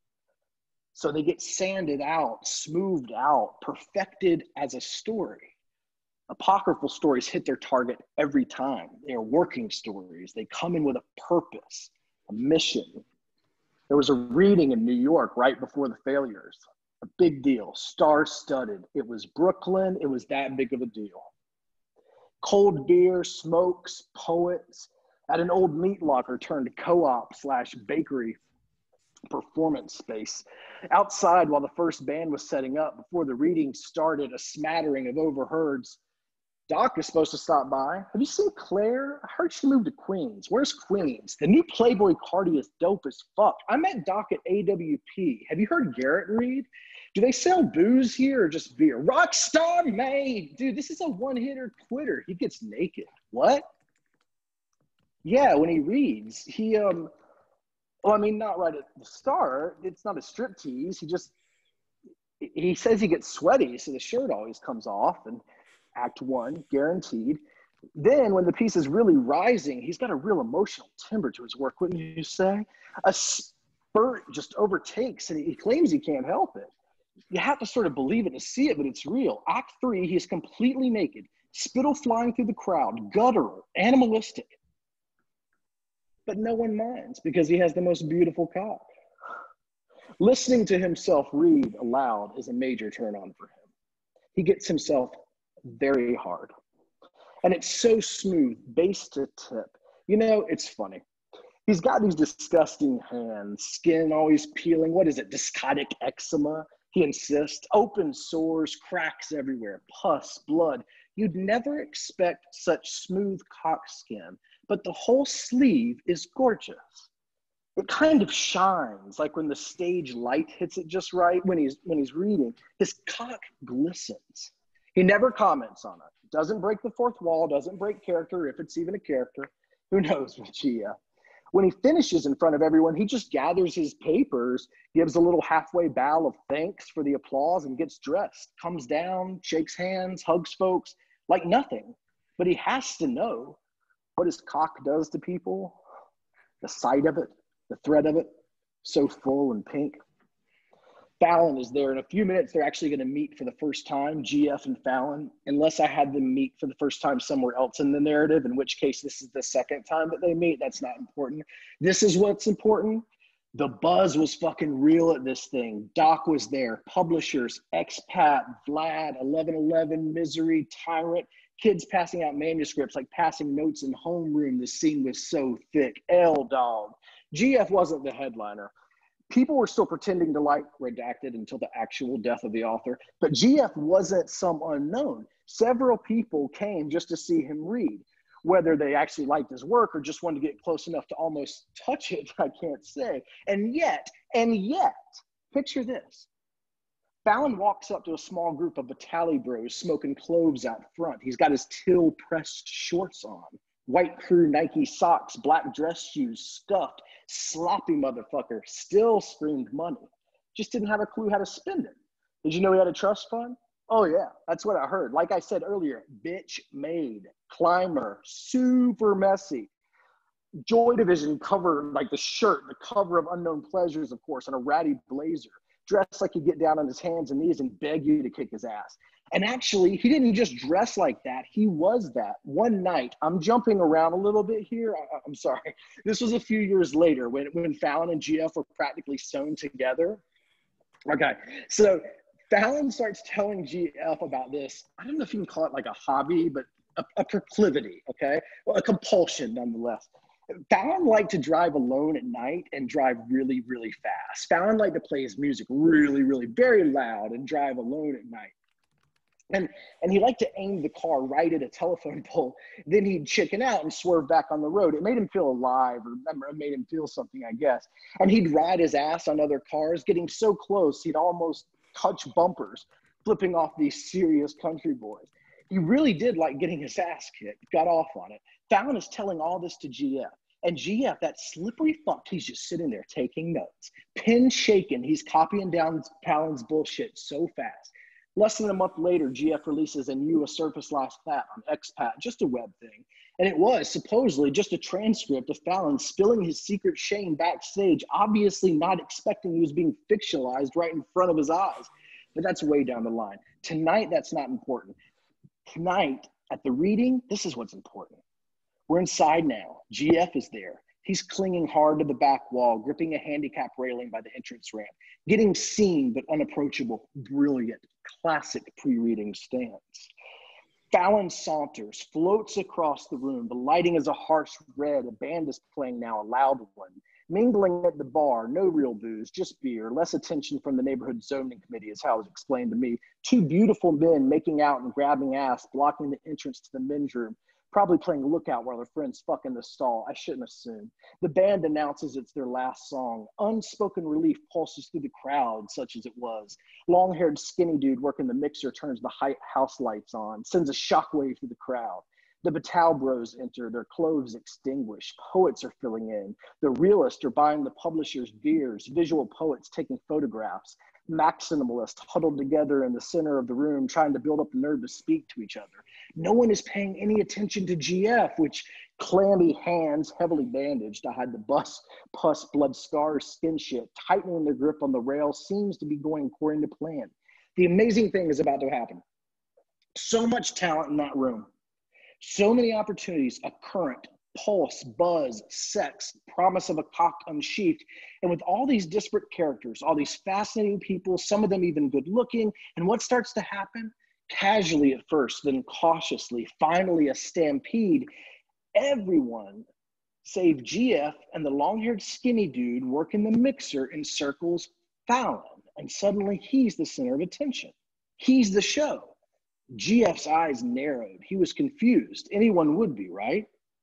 It took until later that night or maybe the next morning for Garrett to add it up. The room was filled with writers, some excellent ones even. The room was filled with publishers, the coolest ones. But Fallon did something else. Fallon sold. His words moved books. He got you read. He built the hype machine. The writers could write you a story, which the other writers would read out of a sense of obligation and a hilarious concept of community. The publishers could turn those words into physical bound things, which you could show to your ex or your teacher or your kids to prove your self worth. All important, all just for the mill. Fallon could write your legacy. And I'm just going to stop there because I mean, I oh my god! Oh my Oh, wow. god! There's there's entirely too much to unpack there. no, that was that was like everything. Tonight has been everything I love about these fucking readings, and that kind of summed it all up. It was like the, the performance was incredible. That was meta as fuck. I love all the references, hidden inside references. That like, like. it was funny. It was I don't know. It was great. It was good. There. Oh my god, I am tongue tied, but that was absurdly fun to listen. to. Thank you, thank you, thank you. That was really, really fun to read. It wasn't what I was going to read. I gave I gave Elaine the option in between. I said old thing that I can't figure out how to edit or rant. She went with rant, so that's where we went. Well, thank you, Mullane. and Keith says performance art in the chat, and I agree. Tonight has kind of been a night of performance art, honestly, and I I love this shit. This is fantastic. Derek, is that going somewhere? Is that going to be posted somewhere? Uh, there are a couple references that you could probably tell, but it's part of something else that I actually have not um, been reading. Uh, but um, elements of it I've read, you know, uh, before. I mean, there's references to other stories that I've read. Um, you know what I mean? For instance, within the you know framework. Yeah, yeah, yeah. I was, just, but I was wondering, is it going to be, um, is it going to be posted somewhere? Is it going to be published somewhere? Um, not not that yeah, not yet that I know of. Not posted for sure. It's not. Gotcha. I don't know. I, Is that I don't know. I, love it. I want to hear more of it. Yeah. Is that a lo- longer project you're working on? Yeah, it's a lot longer project. Like I, I just while we were doing the bathroom, I scrolled up to try to find a beginning and end you know like that's what's tough about it is like you just kind of whatever um but yeah uh that's part of a longer project and it's like literally a cutout in the third you know third part It's exciting. It's really cool. It reminded me a lot of like Bolaño. that would make sense since he's yeah he's a huge huge inspiration Cool. Yeah, I really, I really want to see it in print because it's one of those pieces that like feels dense, and I just know like I got some of the jokes and I got some of the references, but I know I didn't get them all, and I want to, I want to pick through it because I feel like undiscovered pleasures there. um, okay, uh, Rudy, did anyone? where, while I where was is in the your next chapter Huh? where is your next chapter Well, Where's your- um, Actually, I I do- love, I love, I love how your expression changed to fear. yeah it's a i'm glad that that got caught on I actually do. I do have something I could read, um, And read it. but I wanted it. to give. Was there anyone else who wanted to read? Read it.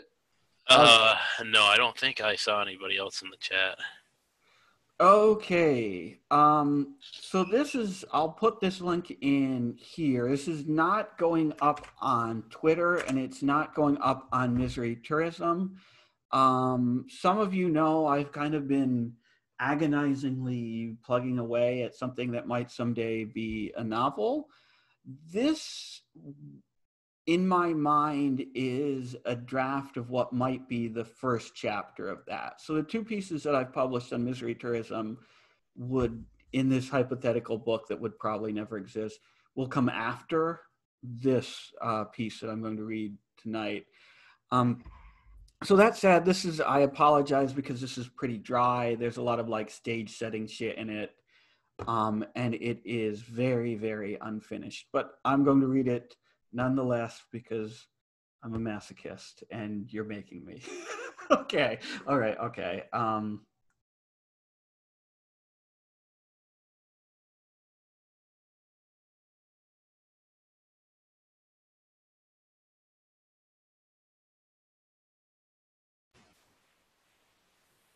shit. How Oh, long have I been muted, man. muted for? Yeah, I was Didn't say, hear anything. I didn't hear anything. Yeah. Didn't hear I saw, anything. I saw you start to read, but I, I thought it was just me. But uh, yeah, you're When um what was the last thing you heard me say? How long have I It's like your introduction. you just you just introduced the piece literally just introduced the piece and then you there was nothing Oh, okay. So I, I don't have to introduce the piece again. I don't have to say this No. is the first chapter, yada yada. Oh, thank Nope. Christ. Okay. you're good. I, I Okay. So I must have start. muted it when I minimized the window to bring up the other thing. Okay. Okay, that didn't mute me again. Okay. Thank Christ Zoom has this thing where if you're talking a lot, there'll be a pop-up that says you're muted.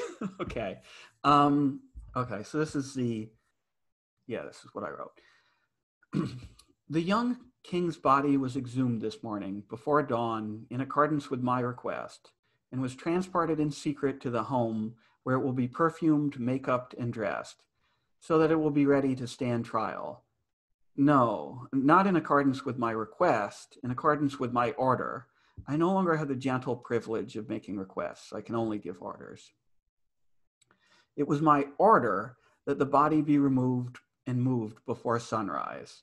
One of the largely interchangeable men of the court had suggested a public parade, soldiers and citizens lining the streets on all sides as the young king's remains passed by in the afternoon heat. The stink, the pageantry, the thrown fruit and vegetables, you can close your eyes and see it just as clearly as I can. Not only because it's a cliche, but also because neither of us have seen it or will or will, since I did not allow it. I'm marveling now at the implied majesty, majesty of that phrase, did not allow it. As if I had been certain of my opinion before he spoke and stood unwaveringly firm, the ruler indistinguishable from his edict. No, no, no. I hesitated.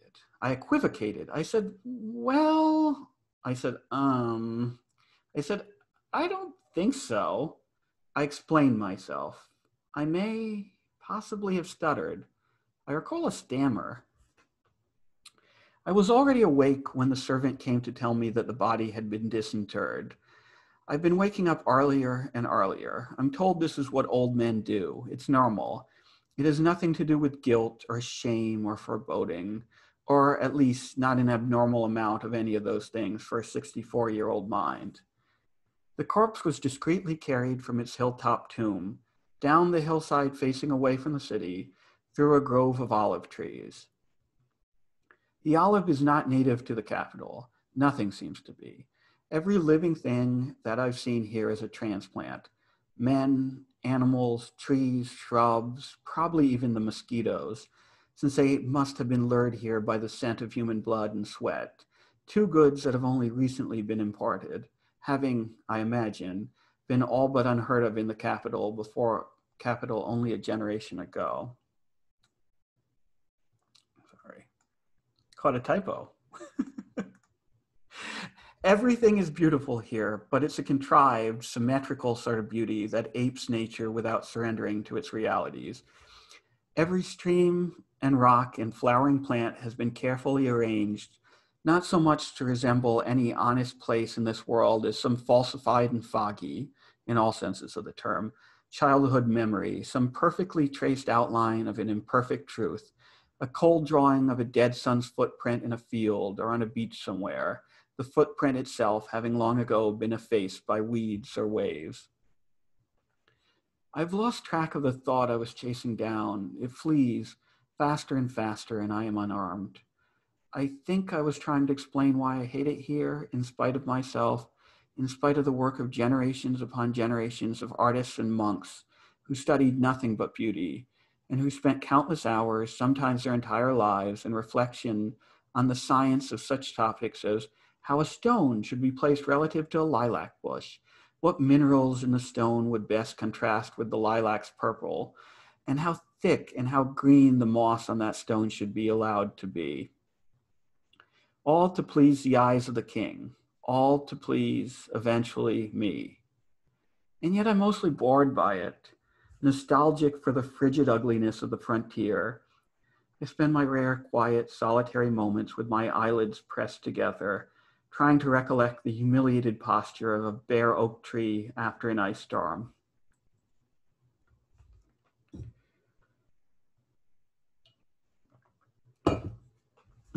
I was told that 12 trustworthy men were given the task of transporting the corpse, but only 11 showed up this morning. One got drunk last night and stole a neighbor's rooster. He was apprehended around midnight after accosting multiple women on the street, grabbing them by their skirts while pointing at the kidnapped fowl and punning on the shared term for its kind and his genitals.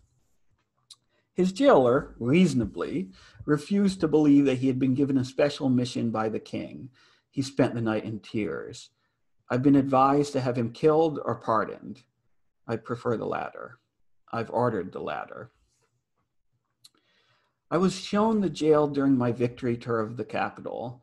A victory won by default is still a victory, I'm assured, still honorable, still cause for tiresome pomp and ceremony, still worthy of a lunchless day of awkward procedural conversations with functionaries inside interchangeable cob buildings.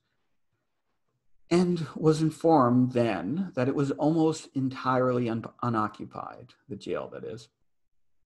There are some recurring inmates drunks, debtors, petty thieves, benign perverts, and so on, some of whom are quaintly recognized on sight by the guards, and who are generally held for a few days or weeks before being fined, flogged, publicly humiliated, or branded, and then released to recidivize.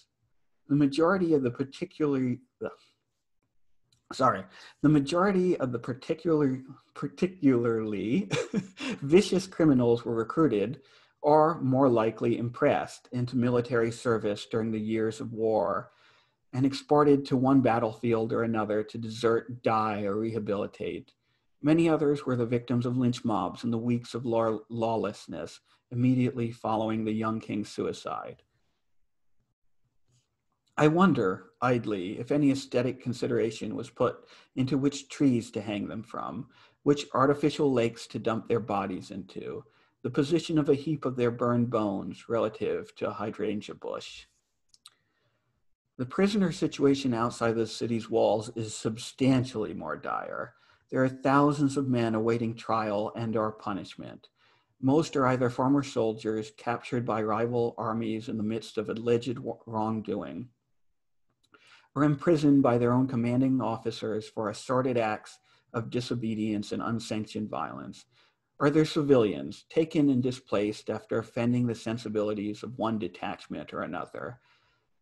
As conquered armies surrendered because of military defeat or poor luck, and the war wound down, the victors were rewarded with custody of the losers' prisoners, along with any of the losing soldiers whose martial acts they decided were criminal rather than simply compliant. And then the victorious armies continued their march towards the capital, bringing all their inmates with them. When they were inevitably defeated or disbanded, the process repeated itself. Eventually, many squadrons held more purported war criminals than enlisted men. By the time the war ended, most of them were encamped and ensnared within a short distance of the capital. And all of them were the responsibility of the state, my state, me.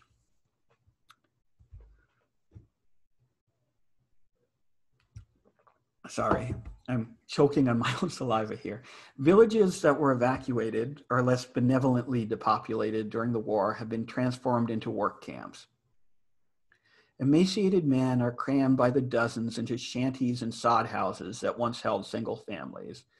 Others sleep in rows in salted fields, crudely imitating the arrangement of crops that won't grow there again for a generation, or lie on their sides in common pastures next to livestock skeletons catching flies with their mouths and attempting to satiate their hunger by chewing on browning grass. Most spend their days digging. They dig furrows so corn and wheat can be planted in fresh, uncontaminated ground. They dig trenches to reroute rivers away from beds polluted by human feces and animal corpses. They dig up bodies that have been buried in mass graves and then dig new individual graves for the remains to rest in mitigating the threat posed by restless spirits and spiteful ghosts. They dig latrines for their own ever accumulating waste. They're digging a foundation on which we can rebuild our kingdom. But likely sooner rather than later, there will be no useful holes left to dig, and all those men will be stuck entirely above ground, restlessly awaiting or dreading the time when they will be permanently below it.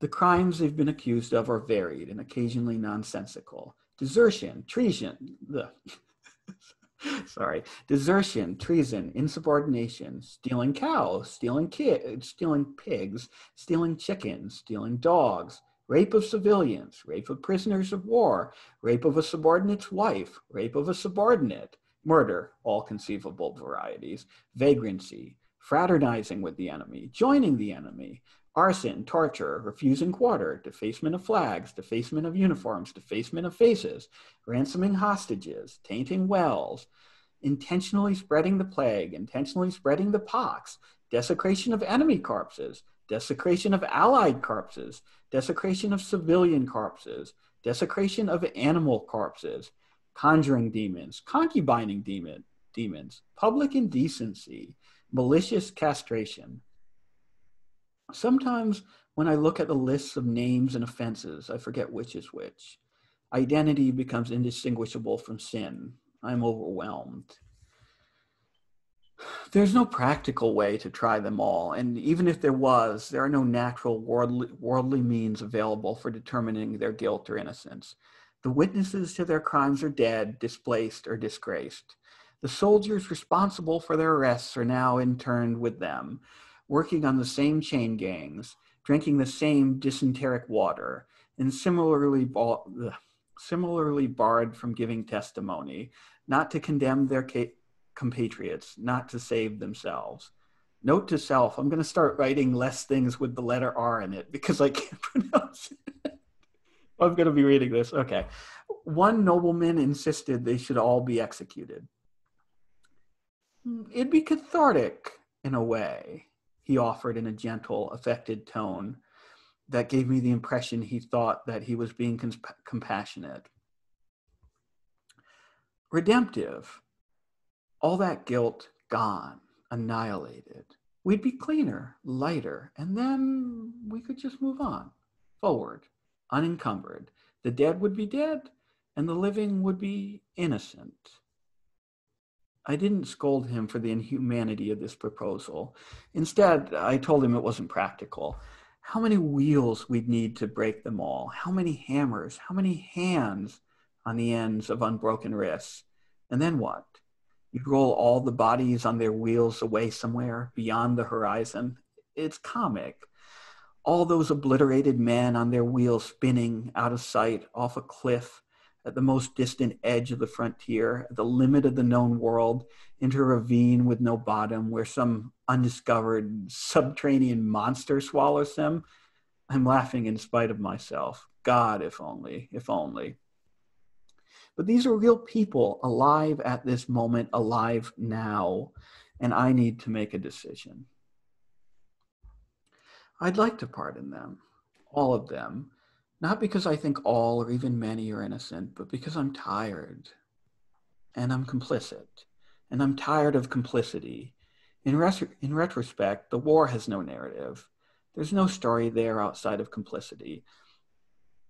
Men egging each other on towards atrocity, endless rationalizations, told to convince others, told to convince yourself, vacuous, rambling chatter, then only noise death rattles, screams, slogans, pleas, puns, conspiracies, belches, farts, apologies, prayers, slurs. And all that noise culminates in me, meaninglessly, incoherently. I'm asking, I'm asked now to translate, knowing that whatever I say will be deceitful, will be a deceitful misinterpretation of the words I never heard, and consequently, men will die. But if I did pardon them all, there would be unrest. Hmm? Unrest? Yes, unequivocally, Anoval advised. It may have been the same man who told me to execute them all. I, I can't recall. Consequence and vindictiveness are the two fundamental load bearing pillars of human morality. Your regime might deny the people one and survive, but both, no, they. I waited awkwardly for a moment for him to continue to finish his thought before realizing that he probably felt he was disallowed from saying the rest.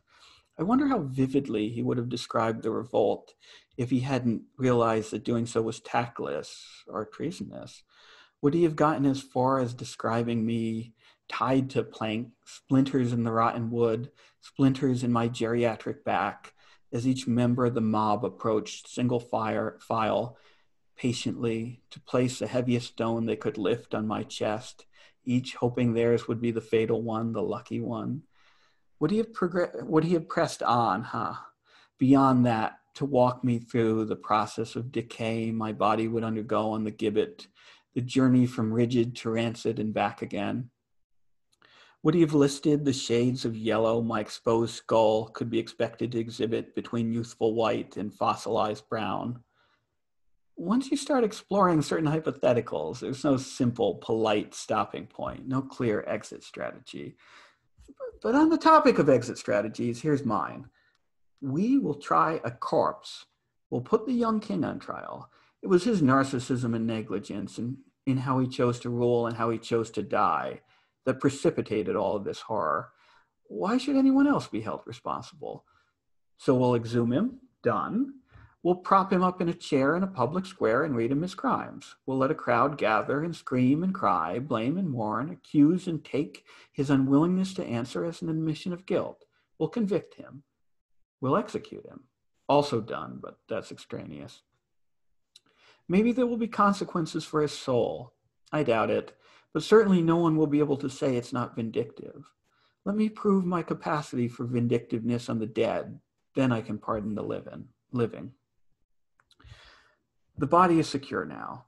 No one interfered with its transport. All 12 of them, 11 living, one dead, passed unseen down the hill, through the olive grove, excuse me, down the hill, through the olive grove, and across other terrain that appears dim in my imagination.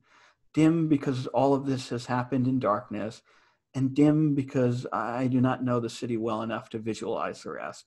but regardless, it's done.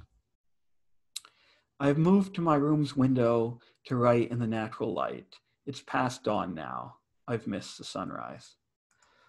Oh, okay, that's it. I'm done. I'm done with that. um, did anyone else want to read? Mhm. Also, I caught a second typo that I'm going to have to try to find and fix. Yeah. No, you're, so you're not gonna just yeah. You can't you can't just move on. That was um, oh, that was wow. really really good. Um, the uh, that was the palace in, the palace intrigue like regular uh, the way you're putting like regular consciousness in, into these people like the sort of disagreements just any two people or whatever would have in their neuroses is, is really cool. Yeah, thank you, thank you. um, I, I don't, I, I'm not really sure. Like I said, this was this. I started writing this before I wrote the like two chapters that I read earlier, but I finished it just like today. Um, and I think like um like I don't know. I, I'm a lot like weird as it may sound, a lot more comfortable like writing internalities and externalities. Like I'm a lot more comfortable writing within a character's mind than I am like seeing the world outside of it. Um, so yeah, no, thank you for that. I really do like want to get at like the neuroses of this narrator and like the psychological burden of being a like kind of like reasonably self-aware but like like totally like somewhat self-indulgent human being and being kind of thrust into this situation where like you see the moral implications that every one of your actions ha- will have on a lot of people but you're not necess- you don't necessarily have the clarity or insight to make wise choices.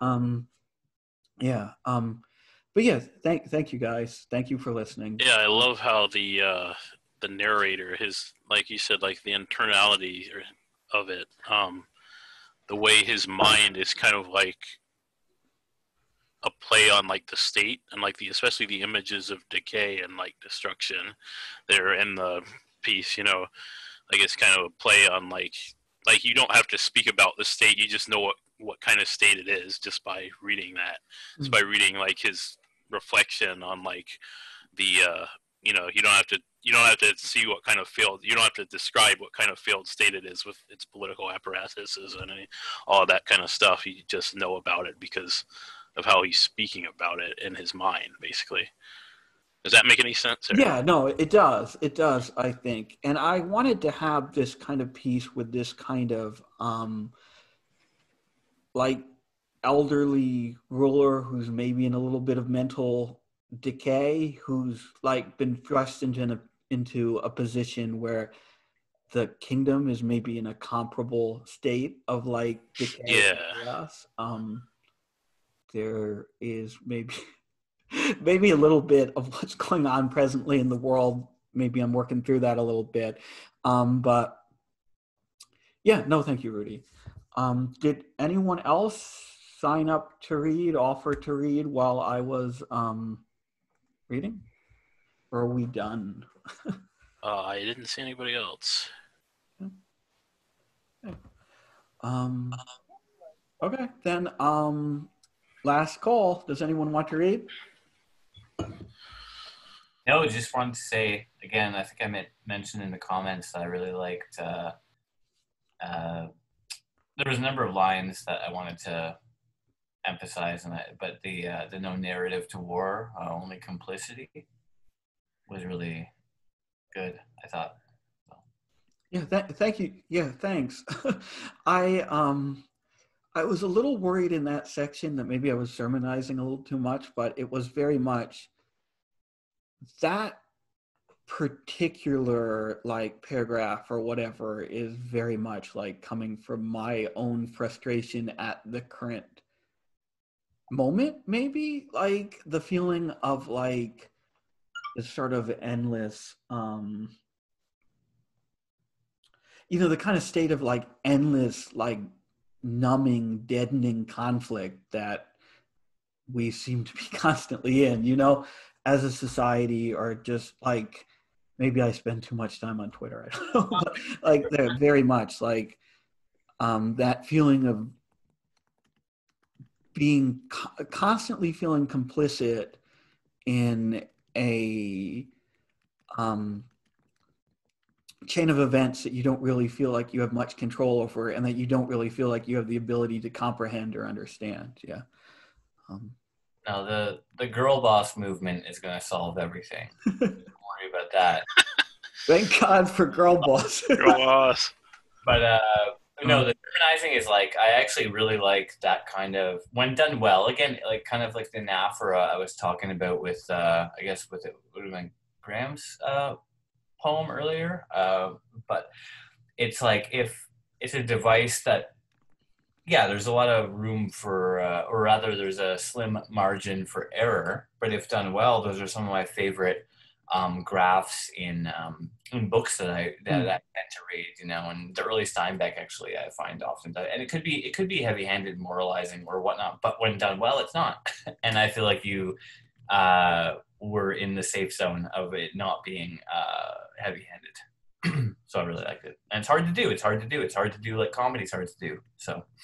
yeah i love the way steinbeck handles that as well um yeah no and, and i and um you're right because a lot of like the authors i really love uh like dostoevsky and and as you said steinbeck and um or mutual um an author we both love uh hamsun Yeah. gets there a lot too and he gets there in a way that feels like perceptive rather than didactic and i think that's a really it's a really tricky kind of thing to do once you once you exit the sphere of um like describing reality and enter the sphere where you have a character interpreting reality i i think that sometimes that that can be a pretty like scary kind of space because you're always like how much of my own like biases and like moral ideas am i shoving in here and how much are they like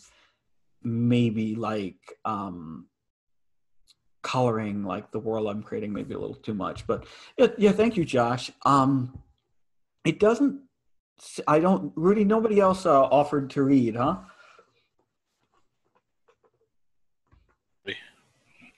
As far as I can see. Okay, so I think we are done with the reading portion of this. As always, I'm gonna, after I stop recording, I'm gonna leave this, um, leave this, leave the Zoom call open for a while. People want to hang out, bullshit, whatever. But um, yeah, that's it for the reading. recording Um, stop. Yeah, so if my guy comes by, it's fine. Like, Y- you'll be all set once I once I stop recording. um, so anyway, um, this has been Misery Loves Company. Uh, it's a presentation, I guess, of miserytourism.com. If you're watching this on YouTube after the fact, maybe stop by sometime and read or listen to others read. This happens every Friday, um, 8 p.m. Eastern Time, 5 p.m. Pacific. Just follow at Misery Tourism on Twitter, and we tweet out the link 15, 10, 15 minutes before the show starts. Okay, thank you everyone who read. Um, thank you, John. Thank you, Gabriel. Thank you, Graham. Thank you, Josh. Thank you, Derek. Thank you, um, thank you, Rudy. uh, did I forget anyone? I, I apologize if I forgot any. Oh, thank you, Eric. Um, so anyway, have a good night, guys. That's Thank it. you, We're fucking Andy. Uh, Thank you. Have Thank you. night.